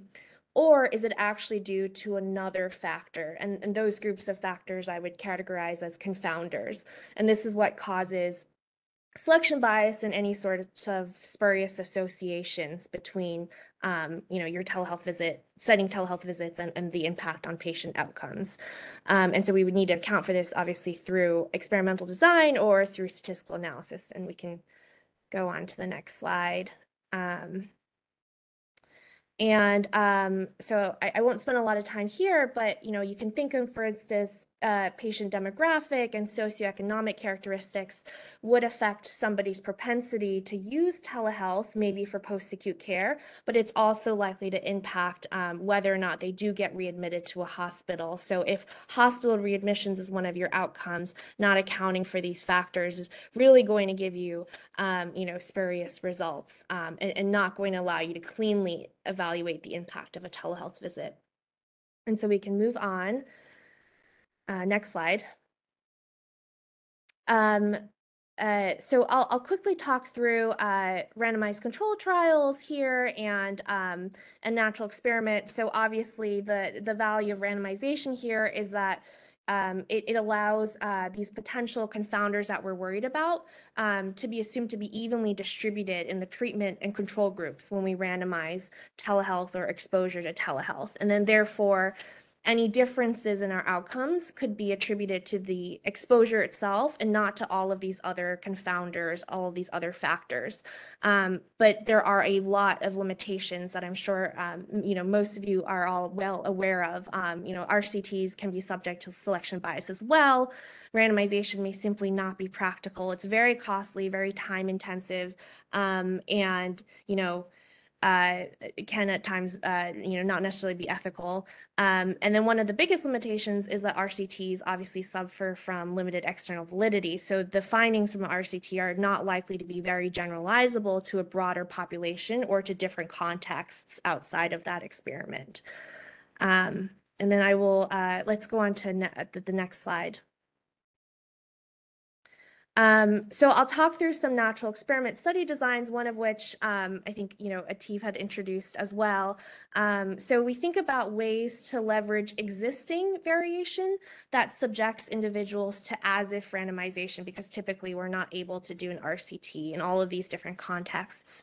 Um, so what's been uh, you know one of the uh, sources of natural variation that's been um, commonly used in more recent telehealth research is to leverage differences in insurer policies. So, for instance, you know, we can compare patient outcomes among patients that are enrolled in Medicare Advantage plans versus Medicare fee for service because they were subject to different telehealth benefits that changed over time. Um, the same idea with commercial insurance plans. Um, commercial insur- uh, enrollees are um, uh, uh, have access to different types of telehealth or the extent of telehealth would be different for different uh, you know people uh, for for different plans. Um, and then you know you could also look across states. So if you're living uh, so if you examine patients living in states with varying medicaid and commercial state policies for telehealth coverage um, for instance, uh, you know, different states have different policies related to payment parity. Um, you're able to use certain states as a comparison group in this natural experiment study design. Um, another commonly used uh, source of variation in telehealth research uh, related to what Ateev was talking about is leveraging clinician or provider organization telehealth adoption. Um, so we could compare patient outcomes among you know patients that are attributed to high versus low telehealth providers. Um, and that's you know relative to all of the providers in your study sample. Um, you could also compare patient outcomes among those uh, among patients with varying exposure to practice level adoption of telehealth if there is staggered rollout, for instance, um, of a telehealth platform or program. Um, the advantage of all these designs is that they fall under this bucket of intention to treat designs where we're looking at the impact of exposure to telehealth um, somebody being assigned you know to a high telehealth access group um, and uh, it, it, gets rid of and mitigates some of the problems of selection bias if we were just to look at patient level telehealth use. Um, and i'll stop there Very good. That's a, really helpful uh, overview, Jiani. I appreciate that. Um, I just want to kind of touch very briefly on a question. It's another question in my set, but I'm, I'm going to go out of order just a little bit. And it has to do with the idea of when we decide to try to do studies where we're comparing uh, across kind of geographies, maybe across states that have different telehealth policies around uh, coverage or payment parity. You know, what do we need to be careful of as researchers in in making those comparisons? What are, I mean, we're essentially assuming that you know the the policy is exogenous, right? And That and that do we need to worry about that? Or, how much do we need to worry about that? Might be a better way to think about that. Annette or Ateev, do you want to take want take that question on?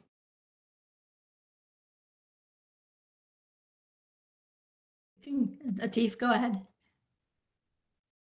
Yeah, no, I think that um, uh, Jean, you already touched upon it. So uh, while uh, I think state variation in policy has always been something that a lot, it's a great use of research, um, a great thing that researchers have exploited for many and many a study. You did touch upon a couple of the key points. One is what was the trend in those states beforehand? So I don't know. Minnesota was had you know have a big increase in spend. Well, let's pretend. Let's say Minnesota's having a great uh, was much lower in its spending growth than other states. Minnesota enters a law, and then you see later on that Minnesota has lower spending. Is that because Minnesota was already on this right trajectory, or was it the law? Um, and that touches upon this sort of related idea, which is why the heck did Minnesota put that law in there? What was going on in the legislature? Sometimes it's a bit random. Some person really thought this was a great idea and they changed the legislature, but otherwise there was something going on in Minnesota that drove the implementation of that law. So I think those are two things that occur to me uh, when I think about with using that kind of exploiting state variation uh, kind of work. Okay. Anyone else? Yeah. Um, Yeah. I- Go ahead, I'd just add that, you know, we also do it trying to compare health systems.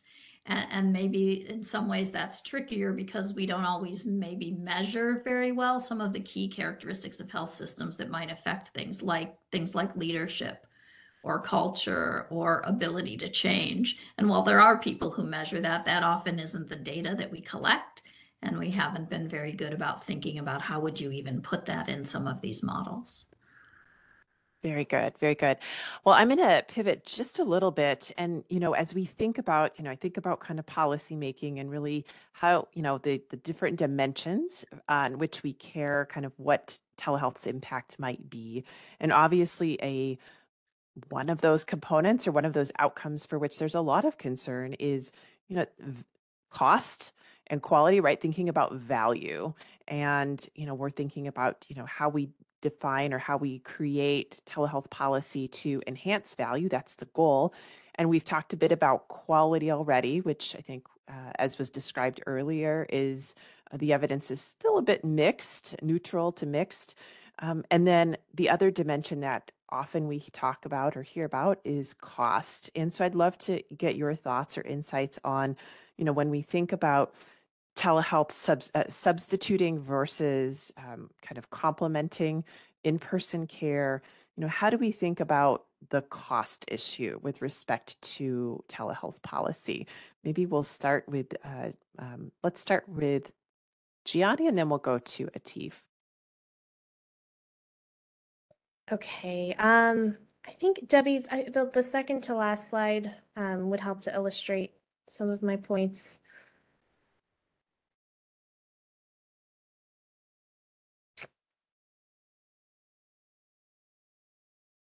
Um, and I'll, just get started. So um, I'll start out by saying I think that there are um, a multitude of different ways we can think about telehealth impacting um, overall healthcare utilization and spending. So I've just enumerated a few here. Um, of course, it's possible that telehealth is, and a lot of the, you know, the, the literature has shown this already, as I'm showing here, that telehealth is the availability of telehealth uh, uh, causes these services to be additive, inducing more care rather than in placing in-person visits. Um, so uh, some of this previous work, uh, some of which Ateev has been very involved with, showed that uh, the availability of virtual visits resulted in an over 80% increase in total visits over like an enrollee population.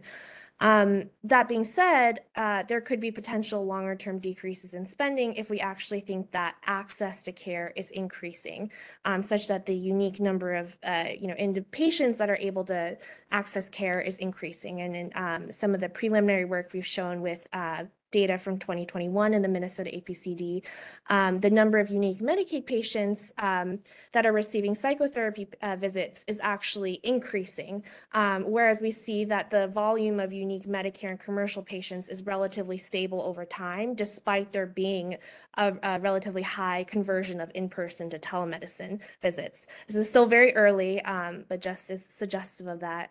Um, telehealth, of course, can also be complementary, um, particularly for treating and managing chronic conditions, allowing for follow up care, allowing for asynchronous messages with providers. Um, uh, and then we also have to think about the fact that the visit, the telehealth visit itself, may lead to higher or lower downstream costs relative to an in person visit, which is a slightly different way of thinking about this than the overall inducement of care. Um, and this just may be that the telehealth visit itself causes a duplication of services or um, is, is low quality and is just not able to resolve the patient's issue. And then finally, um, I know that there are some concerns about overbilling and fraud, and um, a recent OIG report did show that um, there were less than 1% of providers that were billing telehealth visits at a high enough rate that it, it posed some risk for fraud. I'll stop there. Very good. Thank you. Ateev, you want to add to this? I just might make one point, which is that sometimes people um, ask me, like, how does this happen? How does it become additive? Um, and maybe I'll just give an example. Um, I listen to podcasts a lot, and I don't know if others do, but you're constantly bombarded with ads for BetterHelp. And BetterHelp, if you go to their website, will say, we'll help you with conditions such as depression, eating disorders, anxiety, which seems very valuable, but they'll also help you with self esteem and stress and anger and relationships. And all of those, I, I, challenge any of us to find someone who doesn't have a problem with any of those issues. And it just, for me, it always illustrates how this could greatly expand the treatment patient population to, in this case, for BetterHelp, 100% of all American adults who are, all of us have some of those issues. And so then it translates into the, the point that you were making before, Gene, is that, okay, if we see this increase in utilization and spending, then we turn to what I think is the more valuable conversation. It's not about whether it increases or decreases spending, but does it improve value and for which patients? So for that patient with depression, maybe that increase, you know, having better help is leading to really better quality of life, better outcomes. That's awesome. But if it, for other patients it's not, then we have to question whether this is a valuable use of our societal resources. So trying to give an uh, example of how it could work as well as to kind of transition to the conversation to value. Very good. And I would just, you know, I would just offer that I think it it it it means that it's actually challenging, right? Because you can't necessarily tailor policy to be targeted enough to meet the populations that are most likely to benefit. But possible. It's just that I think we that's where we hope that research can inform uh, some some aspects of targeting um, to get a little bit more uh, of a return where possible. All right, so we are getting some questions in, and I want to go ahead and make sure we have time because I know as an audience member, uh, you want to be able to get your voice in. So I'm going to go ahead and um, we'll incorporate, they are all in the chat. Um, so it, it looks like we have a couple of questions. We're going to go back to the kind of methodology for just a bit um, to, and I'll, this is open to any of the panelists. And so we have a question from Paul Draws who asks, um, when we think about um, you know research, what about patient level propensity for telehealth care? Um, would you also adjust for that indifference and difference? So speaking to estimating a diff and diff uh, design, you know, would you use some sort of propensity um, adjustment t- in your modeling to help that? Anybody want to take that one up?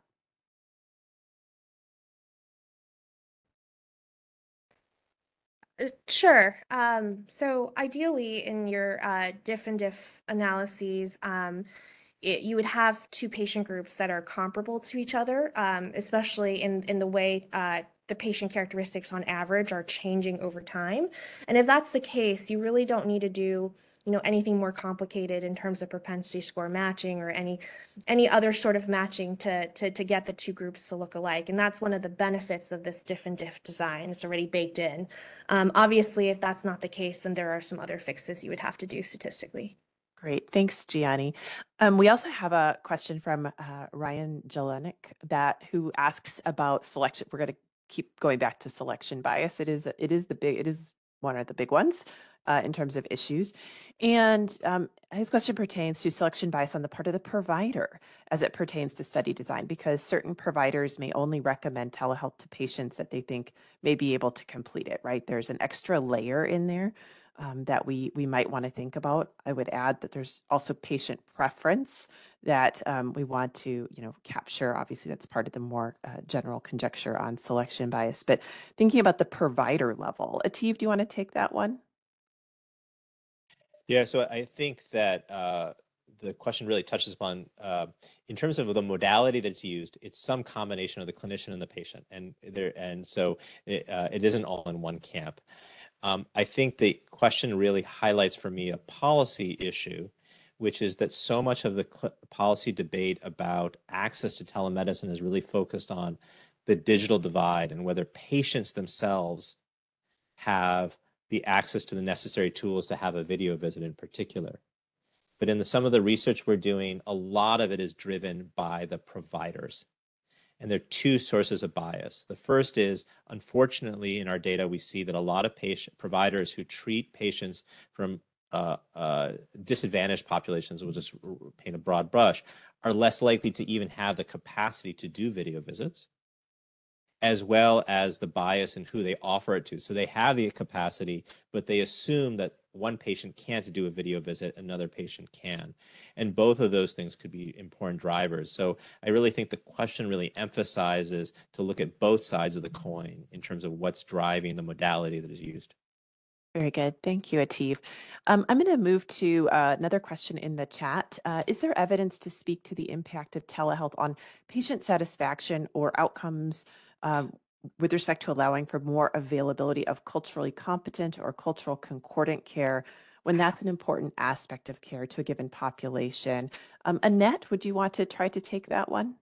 Um, the truth is, there isn't a lot. I mean, maybe if Ateev and Gian disagree, um, but we haven't seen a lot. I mean, we have seen that, as has been mentioned, that telehealth can exacerbate disparities.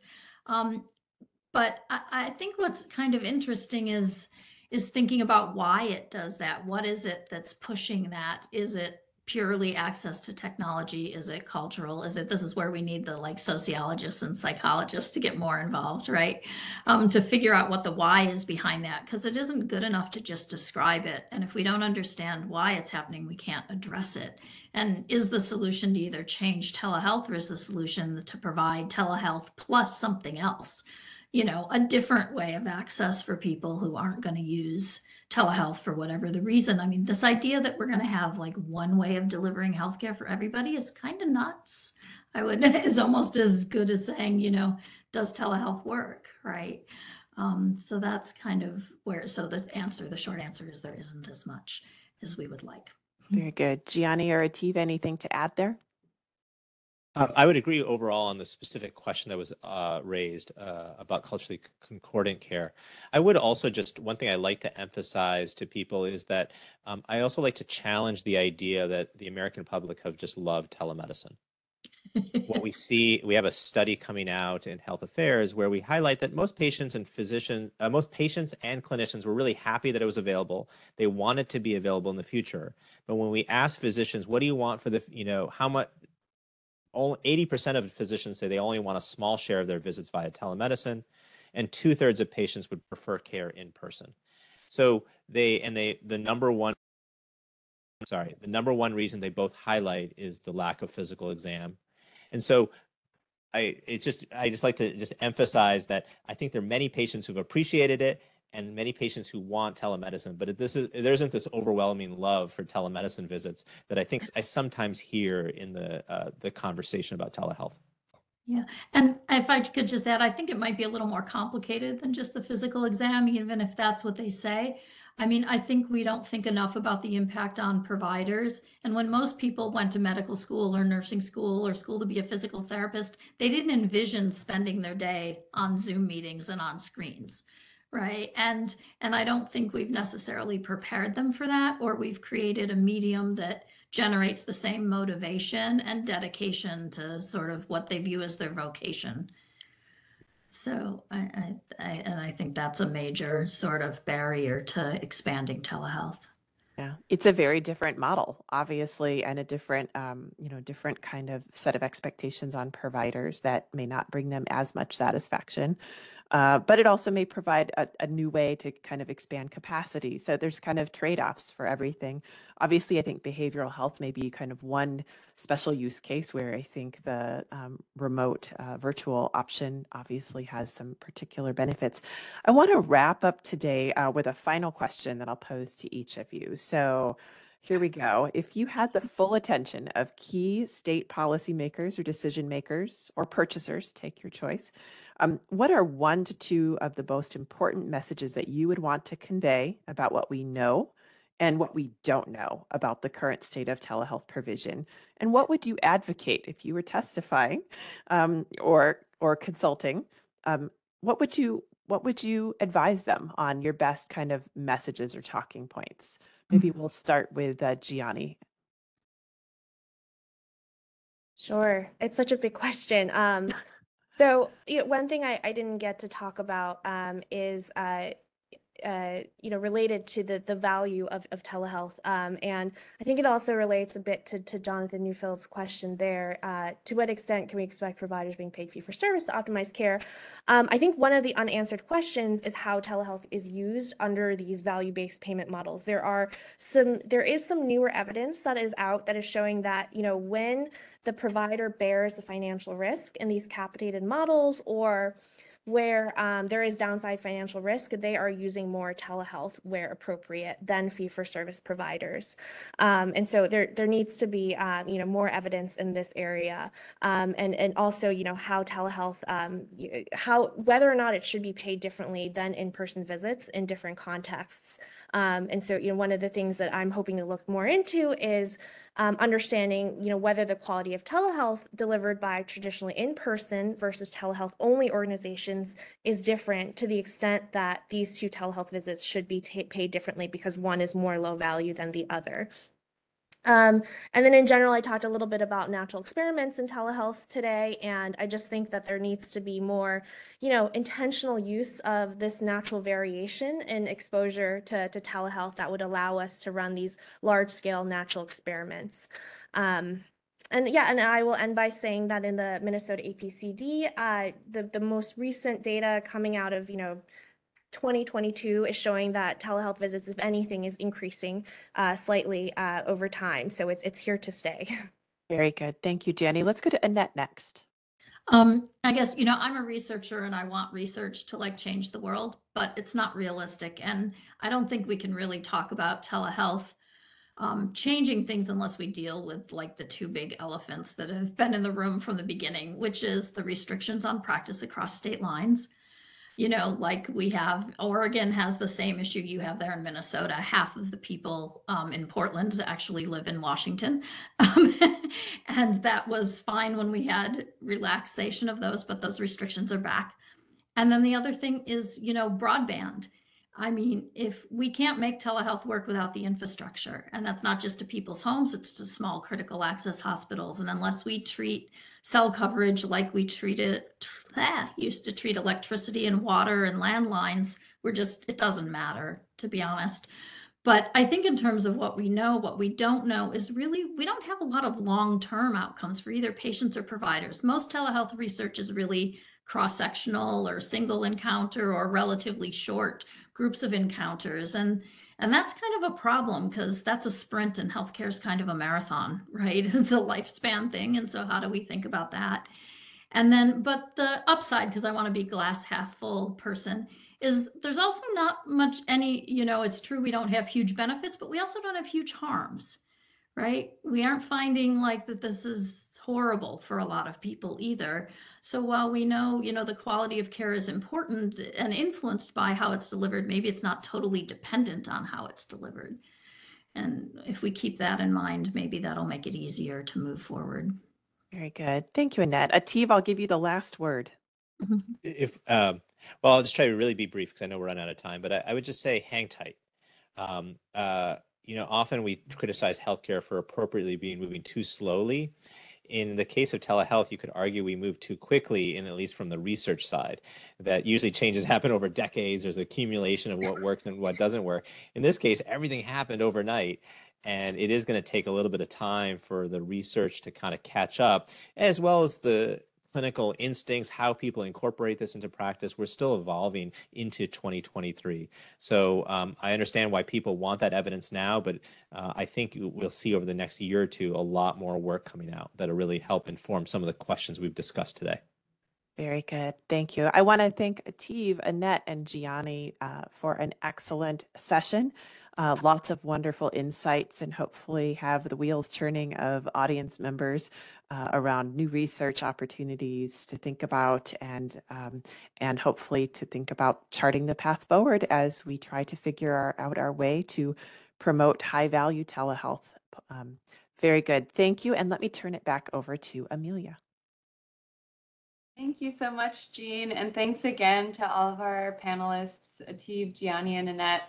Um, and thank you, Jean, for moderating the panel. That was a lot of great information that was discussed, and it's been really illuminating to hear um, all of your insights and perspectives on these various different telehealth research questions and challenges and best practices. So thank you all for joining us on the panel today, and it's been such a pleasure to learn from you all. Um, so now we will shift into the session on the Maryland Healthcare Commission's telehealth legislative study. And today we have Alana Knudson from NORC at the University of Chicago, who will be giving an overview of Maryland's telehealth study. So Alana Knudson serves as a senior fellow in NORC's Public Health Research Department and is the director of the NORC Walsh Center for Rural Health Analysis. Knudson has over 25 years of experience leading health services research projects and implementing and evaluating public health programs. She has deep expertise in rural health, health equity, public health, health services research, telehealth, and evaluation. Knudson has conducted numerous health services and health policy studies and public health projects funded by the Agency for Healthcare Research and Quality, the Centers for Disease Control and Prevention, the Centers for Medicare and Medicaid Services, the Health Resources and Services Administration, the U.S. Agency for International Development, and the Robert Wood Johnson Foundation, among others. Her project findings have informed state, tribal, and federal health policy. And prior to joining NORC in 2009, Knudson was the Associate Director for Research at the Center for Rural Health at the University of North Dakota School of Medicine and Health Sciences.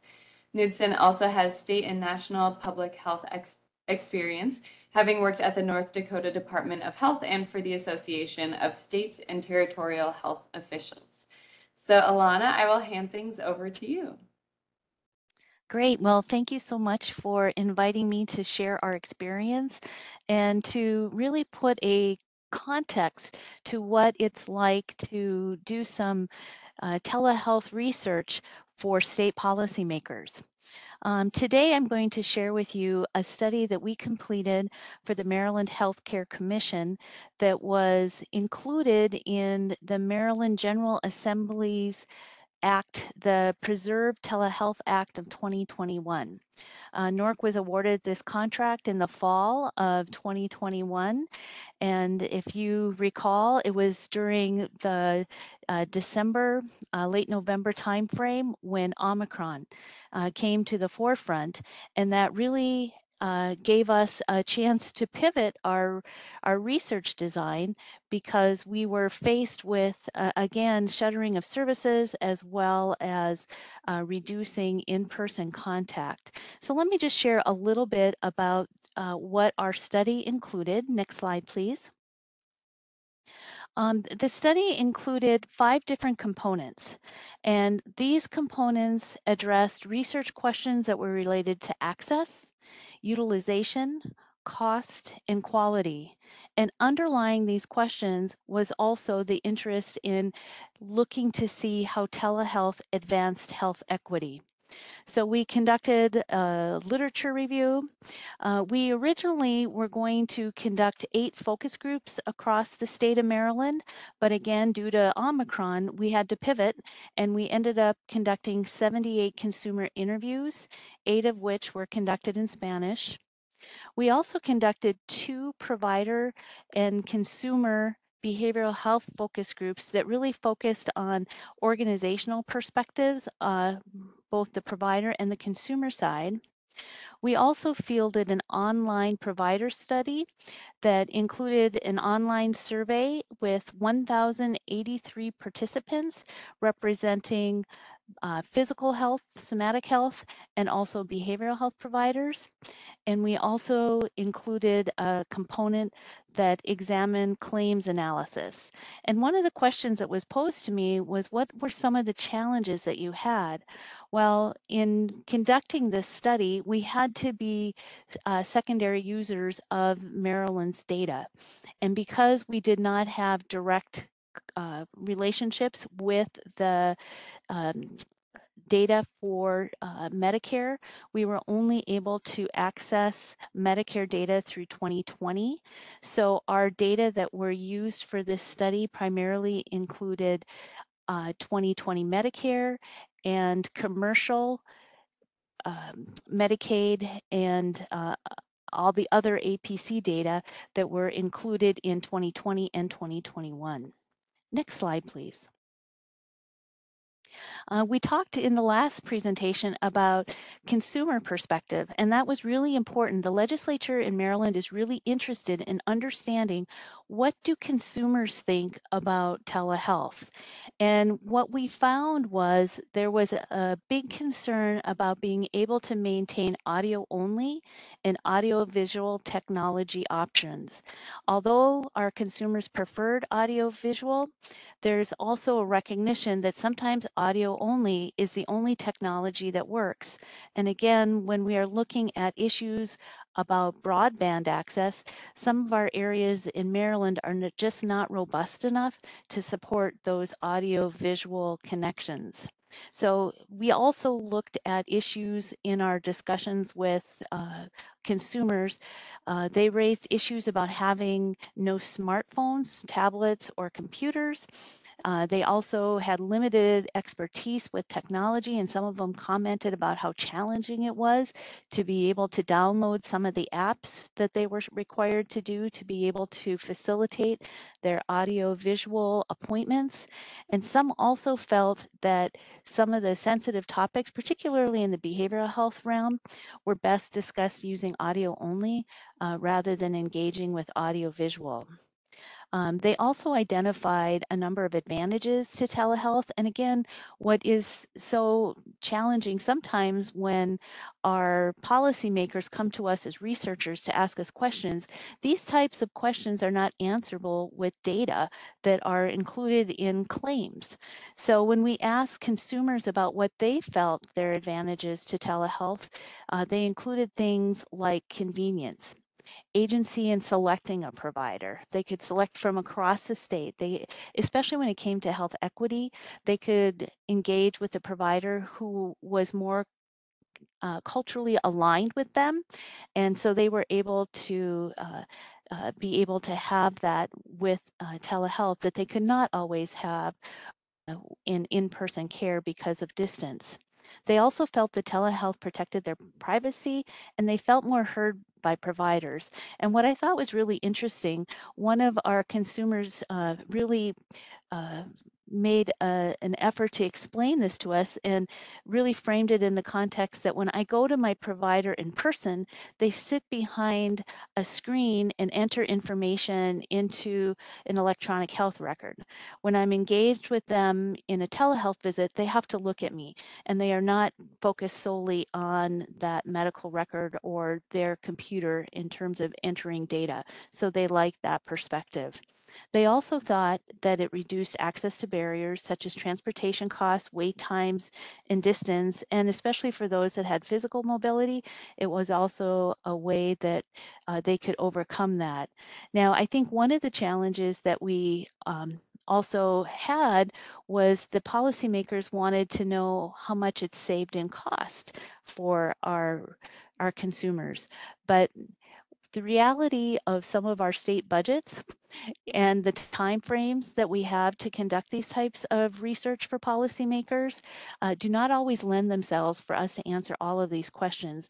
So we were not able to quantify anything in terms of transportation costs uh, saved or wait times saved or the like. Uh, next slide, please. Uh, one of the things that we were also interested was trying to get provider perceptions because again, state policymakers wanted to know how do providers feel about this? How do they feel about using telehealth? And interestingly enough, when we asked about audio only, um, the area that had the least enthusiasm, if you will, for increasing access was with regard to healthcare for patients and clients that had cognitive disabilities. And we saw that our somatic um, health providers uh, were the least um, likely to report that they thought it increased um, access. However, three fourths of our somatic providers did feel that it did so. Next slide, please. We also asked that same kind of question with regard to audiovisual. And for state policy, I will tell you the issue of audio only or audiovisual is huge. And this is a real issue that they wanted us to be able to discern. And so we asked the same question and uh, basically had uh, the same uh, responses from our providers. Next slide, please. The policymakers in Maryland were also very interested in how much were telehealth services used. And so to get information in this regard, we primarily looked at claims data. But in the next slide, please, uh, we also included a response from our provider survey. So what is not a surprise is that uh, during the pandemic, our urban individuals use telehealth services more than rural individuals. Our younger um, individuals or younger patients and clients also use telehealth services more than older, which is um, akin to what we find in other national um, uh, data uh, collected during the same time or analyzed during the same time. Um, but our providers told us that patients with limited English language proficiency were less likely to use telehealth services. And again, this is a question that we believe needs to be addressed um, and uh, researched more fully. But with our limited time and resources, we were not able to uh, really be able to understand better um, why why this was the case. And uh, we recommended for the next round of research, um, especially with regard to addressing health equity and advancing health equity in, in the state of Maryland, that uh, this be a key component. Next slide, please. Uh, we looked at the number of evaluation and management telehealth services, just like all of you do in a lot of your other surveys and, and studies that you conduct. And as you can see um, in ours, we had the highest utilization of Medicaid telehealth services uh, was for our Medicaid. Uh, the dark line represents Medicare claims. And again, we were only able to use Medicare claims through 2020. And the orange line represents our commercial claims. And you can see how uh, the, the trends and the utilization really follow COVID cases. And again, uh, when Omicron came to the forefront in December, uh, you can see how it spiked for Medicare, or Medicaid rather. Next slide. Then we looked at the proportion of uh, these same services per month in, in Medicaid and again uh, in commercial and in Medicare claims. And uh, of course, we saw um, the spike coming up again uh, during Omicron. Uh, next slide. And the state of Maryland is particularly interested in comparing somatic care with behavioral health care. So we split out that data so they could better see. And as you can see in somatic care, um, we had an initial spike when the pandemic uh, first um, started and services were shuttered for in-person, and then it leveled off. However, you can see that for behavioral health, we see a, a much different pattern.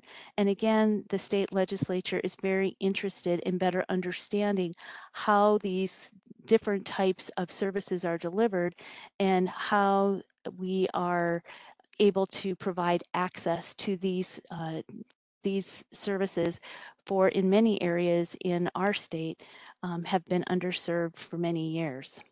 Next slide, please. Cost of telehealth. Um, again, um, cost, when you ask uh, consumers, sometimes it's like beauty, it's in the eye of the beholder. And one of the things that we had asked was about costs attributed to convenience. And for our consumers, of course, the number one issue was no transportation costs. And like many of you, we have uh, very rural areas in our state. And so traveling to tertiary providers and the like, or other uh, behavioral health providers, for example, uh, really can be limiting factor for access to care. Uh, we also found that people participated from home and liked that experiences and they thought it was really great when providers waived copays. And one of the questions that our state legislature is really interested in discerning is what happens to telehealth once copays come back. Um, we did learn from our uh, discussions with consumers that they were able to maintain their preventive care and uh, they were able to avoid urgent care in emergency departments. Um, and that also helped them eliminate some of those copays. Um, a couple of examples were specific to being able to use telehealth in a crisis situation for behavioral health, where in the past they would have to transport a person, but in a couple of different instances that were explained to us, uh, they were able to uh, de-escalate a situation that uh, resulted in that person not needing um, emergency department care. Uh, one of the things that was a real challenge for the consumers in Maryland was their uncertainty about coverage and reimbursement. Um, and also because some telehealth services required an in-person follow-up visit, uh, they felt that it sometimes could be either a waste of time or also um, increase their out-of-pocket costs. So th that was a concern that they raised, as well as the potential negative consequences of delaying their care. Next slide, please. Um, the behavioral health focus groups were really interesting, and this wasn't originally in our scope of work, but the behavioral health um, uh, stakeholders in our state uh, were very concerned about access to care and what might change during this 2023 legislative session if their voice was not heard. So we ended up having uh, two additional focus groups, uh, one primarily comprised of behavioral health providers and the organizations that represent them, and the second group that uh, represented behavioral health clients. And we learned a number of different things. And, and as I said, um, uh, telehealth can provide immediate access during a mental health crisis. Um, they also said it reduces no-show rates and potentially reduces hospitalizations. However, we did not have the data to be able to substantiate that. And uh, we believe that um, if we wait for a couple of more years to be able to um, have more data, we're be, we'll be able to do a much more rigorous analysis to really understand, um, do these anecdotal comments um, hold up when we actually look at the data? Um, there was also a very strong recommendation that payment and coverage payment uh, parity for telehealth be included as part of the state legislature's uh, next foray into legislation for telehealth. And they also wanted to ensure that audio only and audio visual telehealth visits required um, the same provider effort and fixed costs, so they believed they should be reimbursed at the same rate. And so, uh, again, we did not have um, any data to be able to compare. And, and one of the things that was a challenge for us, and hopefully this is going to get better as we go forward. But it was really difficult for us to discern in the data the difference between audio only and audio visual. We could not make that comparison whatsoever in the commercial data or the Medicaid data, and we could only start making that. Um, uh, we could look and make some of those comparisons uh, toward the end of 2020 data for Medicare. Now, the issue that has been uh, also problematic for us in looking at the claims data was the claims data did not have adequate race and ethnicity included as completed variables on the commercial and the Medicaid claims data. And so we were not able to uh, look at that aspect of utilization. Of course, we had the race and ethnicity on the Medicare fee for service data, but um, that uh, was not complete enough for us to be able to really look at it through a health equity lens. We were able to make some comparisons between rural and urban. As you know, um, rural is also part of that health equity piece, but in order to look for future data, we really need to improve uh, race and ethnicity. And, and sometimes I feel like we're at Groundhog's Day because I went to my first uh, telehealth meeting, policy meeting in 1995. And we were talking about claims data at that time. And I, I'm from North Dakota, and we were trying to better understand if, in fact, we saw differences between the use of telehealth um, between our um, patients who were American Indian versus those who um, were white. That was the two major uh, races in North Dakota. And we didn't have good enough data to be able to, the variables weren't good enough on our claims data to be able to make those comparisons. And now in 2023, we still are looking at our commercial data 70% of the claims were missing race and ethnicity so, you know, we really need to continue to work at improving our claims data if we are truly going to be able to provide the kind of robust analysis that is needed by our state policymakers to be very thoughtful in enacting policy. Uh, next slide, please. We also were interested in trying to understand what are some of the barriers to telehealth access.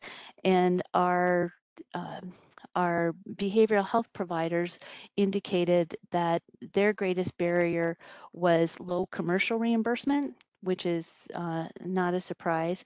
But there was also some barriers noted for some of our um, somatic providers as well um, that, uh, again, pertain to uh, low reimbursements. And, and, this gets to be problematic uh, going forward because if there's not adequate reimbursement, um, obviously these services will not be offered. Next slide, please.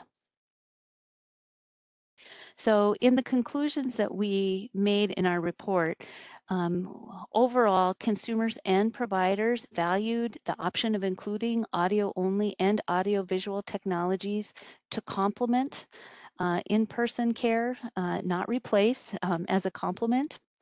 Also, the behavioral focus groups were very committed to ensuring that there would be payment parity for audio only and audiovisual telehealth visits. And as researchers, we believed that it was really important to have additional claims data analysis to really determine if telehealth services were cost effective, what the quality of those services were, and what role did they play in advancing health equity. And I'm going to turn now to the next slide to show you what recommendations the Maryland Healthcare Commission then made as a re- result of our study findings.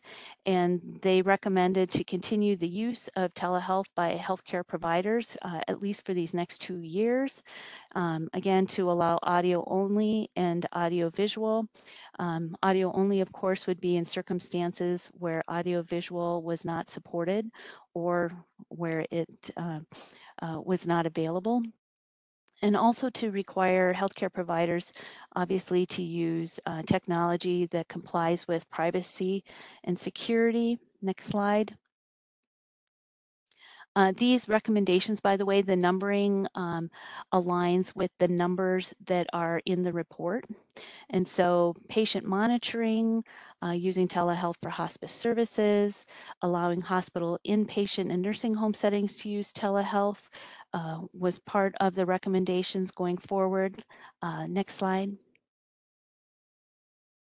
And ultimately, based on our study and everything we found from consumers to providers to claims, we really felt it was important to have another 24 months before any final decisions were made. We just did not believe that there was enough data in the claims that we were able to analyze for this study to be able to make uh, good policy decisions at this point. And uh, one of the things that was also not included in this study, and I know you all talked about this in the previous panel, was this issue of uh, clinicians across borders. So the whole issue of licensing and credentialing of um, providers is also um, on the Maryland General Assembly uh, policy list. Uh, next slide, please. I'm going to leave you with a couple of resources as well. Uh, next slide. Our team published um, uh, this report um, on behalf of CMS that examined rural telehealth during the public health emergency, and we compared rural and urban use of telehealth. And one of the things that we found that was an interesting finding was that states with the highest telehealth use pre COVID became low telehealth users during COVID, while low telehealth users pre COVID then became high telehealth users during COVID. And my home state of North Dakota was actually the highest, as proportionally, was the highest use of telehealth pre-COVID. And that really reflects from a Medicare, and again, this is all based on Medicare fee for service, that really reflects that under pre-COVID telehealth reimbursement, that the distance site was the uh, specialty site or was that specialty physician. And the originating site was one of those rural designated sites, such as a rural health clinic, a rural FQHC, or a rural critical access hospital or a rural PPS. And so uh, um, it, there was just a real change, and we did some follow up qualitative interviews with some different uh, providers. And one of the things we learned was uh, to, again, the point that was made in the previous presentation, there is a lot of uh, provider preference that also goes into using telehealth. And for some of these states that were high users, they're more sparsely populated. The older adults that, of course, used telehealth pre COVID went to a site and did not have the uh, did not have the responsibility of having to uh, make that home connection. The connection was made at a provider, that originating site. So um, having broadband in their home or having expertise in being able to use uh, digital technologies was not a requirement. And so one of the things that uh, one of the providers told us was that uh, because of the way COVID spread, um, a lot of rural communities in the central part of the country that have been high users of telehealth pre-COVID, um, they they did not um, have the same kind of experience and did not stay away from. Um, they did not shelter at home in the same way. Um, providers also did not always feel comfortable using uh, telehealth technology because a lot of those providers in those uh, rural and frontier areas are older providers that are not as familiar with the technology. So again, additional research needs to be conducted to better understand that usability, um, not only for the patient, but also for the providers. Uh, next slide, please. Uh, just real quickly, um, I, I, need to make sure that all of you are aware of the Rural Health Information Hub. Um, if you have any questions regarding anything related to rural health in terms of policy or finance or uh, different ways that uh, programs have been implemented in rural communities, um, the Rural Health Information Hub is funded by the Federal Office of Rural Health Policy. It is your one-stop all things rural health and uh, human services, and you have an opportunity to pose questions and uh, get responses uh, usually within 24 to 48 hours. This is a service that is free to you, and I highly recommend that you check out some of the resources. Uh, this is a telehealth toolkit that our team created uh, for the RHI Hub. Uh, next slide. These toolkits are all designed in modular format to meet people uh, and particularly uh, rural communities and providers where they are at in either exploring an issue or implementing, evaluating, or looking at how to sustain it. Uh, the the models um, always include examples in the program clearinghouse of actual programs that work in rural communities. Next slide, please. And these are the um, different toolkits that are available. Um, to date, these toolkits have had over 11 million um, page views. And um, again, they are intended for use at the rural community and provider um, area. Next slide. If you have any questions, please contact me. I think we are a tad bit over.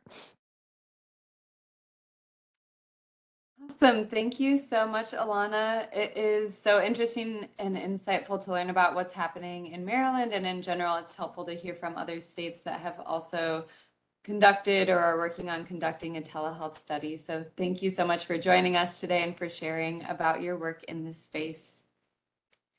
Okay, so we are coming towards the end of the workshop, and now we will have Jonathan Neufeld from the Great Plains Telehealth Resource and Assistance Center, or GPTRAC, provide some closing remarks. Um, so Jonathan Neufeld is Program Director of GPTRAC, which is a federally funded technical assistance program housed at the University of Minnesota. Dr. Neufeld has, has consulted on a wide range of projects related to rural health and telehealth over the past 15 years. He has presented at regional and national conferences and published peer-reviewed articles in the fields of telemedicine, clinical decision support tools, mental health services evaluation, and clinical outcomes. Dr. Neufeld was formerly the Vice President of Information Technology and Integrated Care at Oaklawn Psychiatric Center in Goshen, Indiana. In this role, he oversaw the IT programs and services at Oaklawn as well as leading a team of clinicians providing mental and behavioral health services in primary care settings across Elkhart and St. Joseph counties. Dr. Neufeld received his PhD in clinical psychology from Ohio University and completed a postdoctoral fellowship in integrated primary care in the Department of Family and Community Medicine at UC Davis Medical Center in Sacramento, California. Before moving to Indiana, Dr. Neufeld was an assistant clinical professor of psychology in the Department of Psychiatry and Behavioral Sciences at UC Davis Medical Center and senior research associate at the UC Davis Center for Healthcare Policy and Research. There, he collaborated on a wide range of clinical and research projects in the field of mental health, primary care, telemedicine, and healthcare technology. So, Jonathan, I will hand it over to you. Thanks, Amelia. All right. So uh, because of that way too long introduction that, that I supplied, my, fault, my own fault, sorry. Uh, we're going to move into some comments. I'm hoping that I can add some some value here. Um, uh, I don't know if any of you remember this. Um, there was a game show on a while back, and one of the prizes was you got to stand in a phone booth with wind swirling all around and hundred dollar bills in the wind just flying around and you got 60 seconds and you got to grab as many hundred dollar bills as you could. That's a little bit like how this conference has felt to me in trying to figure out what am I going to say after these fantastic presentations. How am I going to make this uh, helpful or wrap this up in any way? So I'm going to make I'm going to give it my best shot and try not to look too windblown while I do it.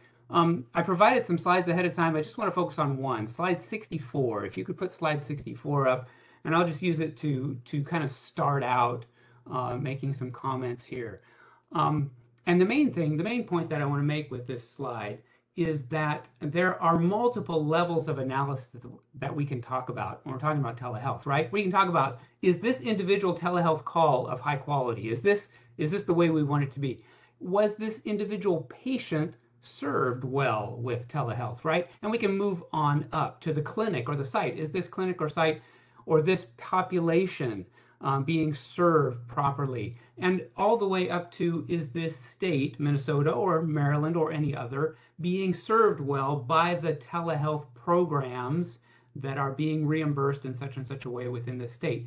And and I know that's obvious. Those levels of analysis are obvious. But the questions that we ask and the kinds of data we need, and even the ways that we formulate um, our answers, they subtly vary at the various levels. And then if you put all of this in the context of regulation, what can we accomplish with regulation and reimbursement policy? Uh, it, it, it underscores the point that I think a number of our uh, presenters have made about how telehealth is just so diverse. Um, for one, I know Annette made this and maybe some others uh, made this point, but maybe some others, telehealth can mean many things. And we, we need to move, and I agree with this. I think she said and in, uh, that we need to move uh, maybe past whether it's effective or not and start to ask about how it's being implemented. What are the models that are being used? Um, I think uh, Dr. Mehrotra said the same thing uh, about ways that uh, uh, telehealth varies from, you know, provider to provider, clinic to clinic, patient to patient, and population to, to population. Um, and I think that in some sense, uh, what what this implies to me also is that telehealth um, uh, telehealth providers will innovate if given the chance. And we don't want to we don't want to you know regulate away all innovation because that's part of what we're trying to do here is get better at what we're doing. When I first started, best practice, and I'm the uh, psychologist, when I first started in telehealth, best practice is we don't see patients who are suicidal because we can't intervene physically. Well, over the years, that changed, and folks came on and said, you know what, you're not going to see a patient for you know months or years, and then as soon as they express some suicidality, say, okay, sorry, I'm out of here, can't help you. I mean, that's not providing the kind of support that we could provide. And sure enough, there were providers that innovated in that space to specifically address support needs in suicidality, as well as a number of others. We also didn't want to treat uh, uh, patients with severe mental illness. Uh, and eventually programs said, you know what, we can figure out how to do that. And they did that. So we have to be really careful to, to um, allow for that in, in the ways that we approach this and the kinds of findings that we, that we seek. I think one important, really important distinction that uh, Jiani, you made is the difference between telehealth only providers and traditional providers who are doing telehealth. And we all had to do a bunch of telehealth. But um, those two, I mean, and it's a very broad brush, um, as Ateev would say, but those two groups are very different in the way they're using telehealth. And I think that matters in a, in a number of ways. Um, I think Ateev also said, as well as Annette, something about equity. And uh, my questions, or I wonder to what extent, and, and, and he's right, it, it telehealth um, gets used inequitably. But, and I've made this point before to some folks, a train runs on the tracks it has. And if our tele, if our um, uh, broadband infrastructure and our indeed our healthcare infrastructure, if these two rails are both fundamentally inequitably distributed across the country, mm, telehealth's not going to fix that. It is reliant. It is a train running on those tracks, and so we have to find ways to to address inequity at the at the railroad level, not the train running on them level, or at least realize that it's a system that we're trying to impact. Um, I think also related to that is the idea that that both that the behaviors of both patients and providers evolve. We hope that they will evolve. And so the, the telehealth that we're studying today is not the telehealth we're going to be doing tomorrow or the day after or the year after.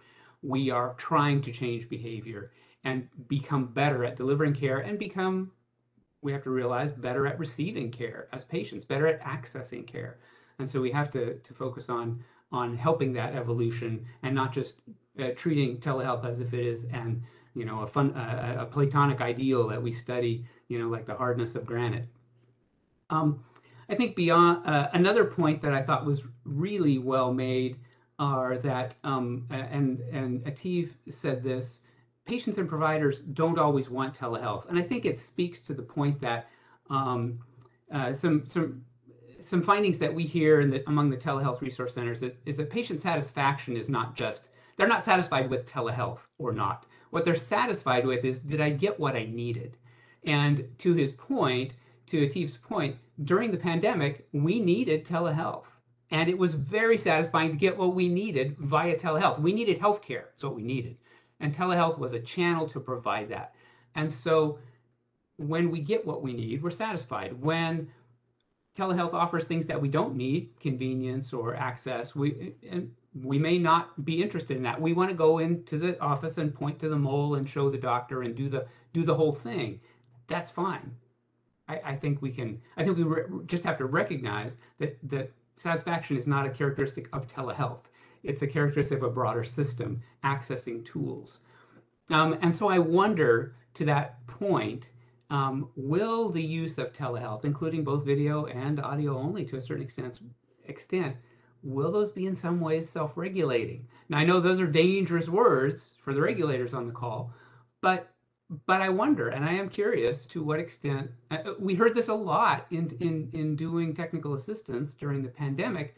That as toward the end, more recently, folks are saying, yeah, we do we do audio only, but we don't really like to do it. We do video when we can, and of course, we want people to come in when they can we don't see that being abused again with the distinction between you know telehealth only services which if that's their business model that's a different thing i think Ateev's point about firefly health was very well taken that um, that there are differences in model that that that uh, that um, transcend a little bit our ability to conceptualize them in our coding schemes as well as in our regulatory um, schemes and uh, I think um, I think that point was made a number of times that we don't always know what exactly is meant by telehealth or what exactly is happening in the encounter between patients and providers. And this is something that we really do need to focus on.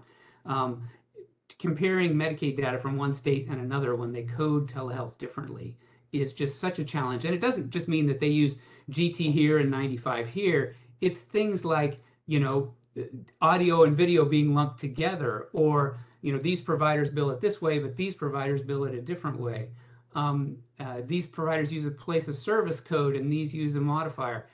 It's it really it it, it makes them um, um, non-comparable, and that's a challenge both for researchers and ultimately for regulators and anybody who has a, a stake in this.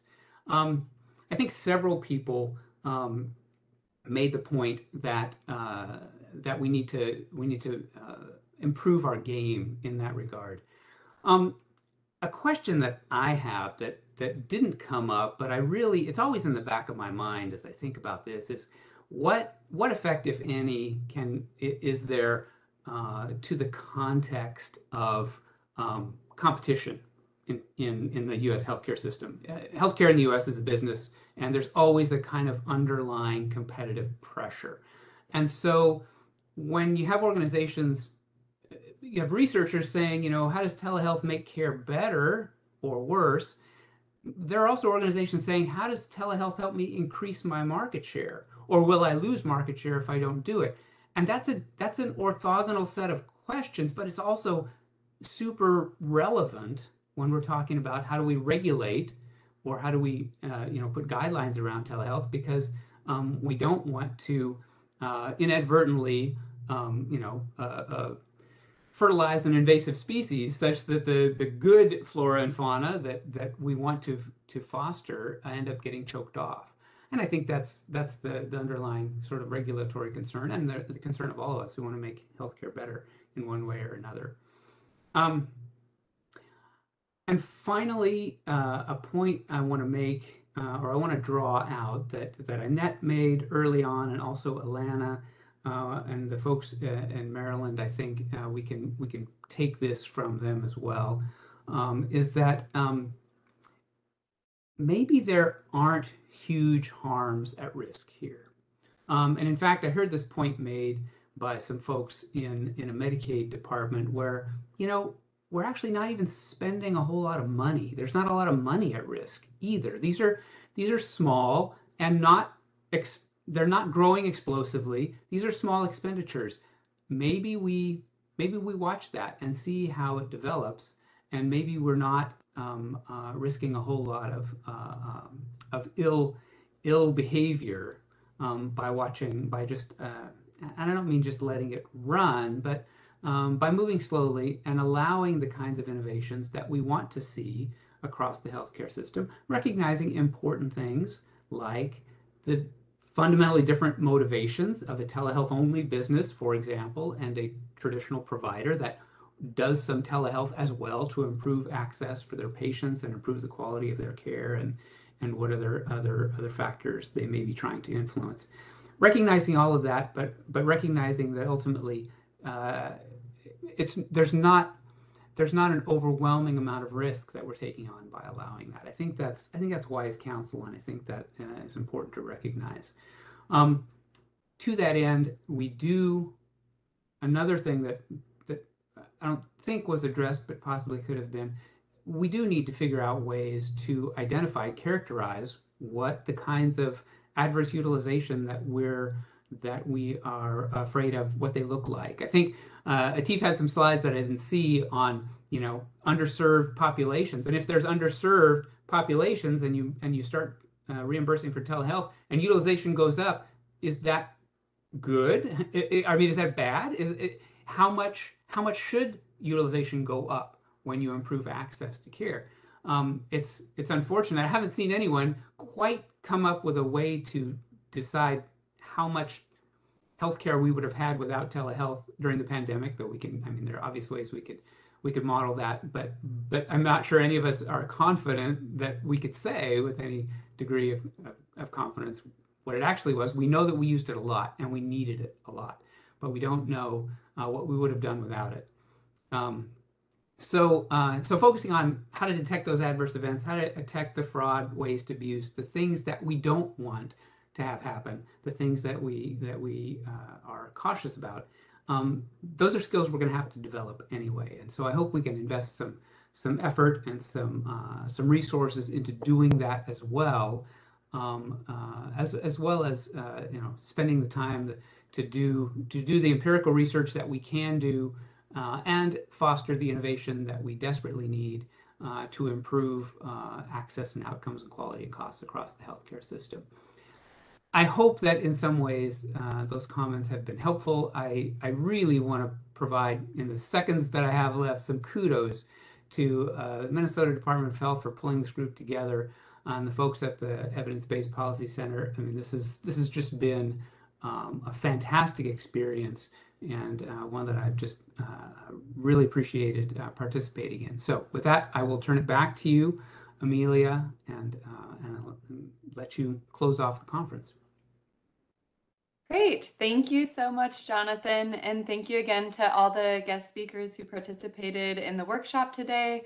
Um, I've learned so much, and we really appreciate you all taking the time to lend your expertise today. Um, I just want to note that we will be creating a written summary of this workshop and everything that has been shared and discussed during these sessions today. And the Minnesota Department of Health will make that summary publicly available likely in early April.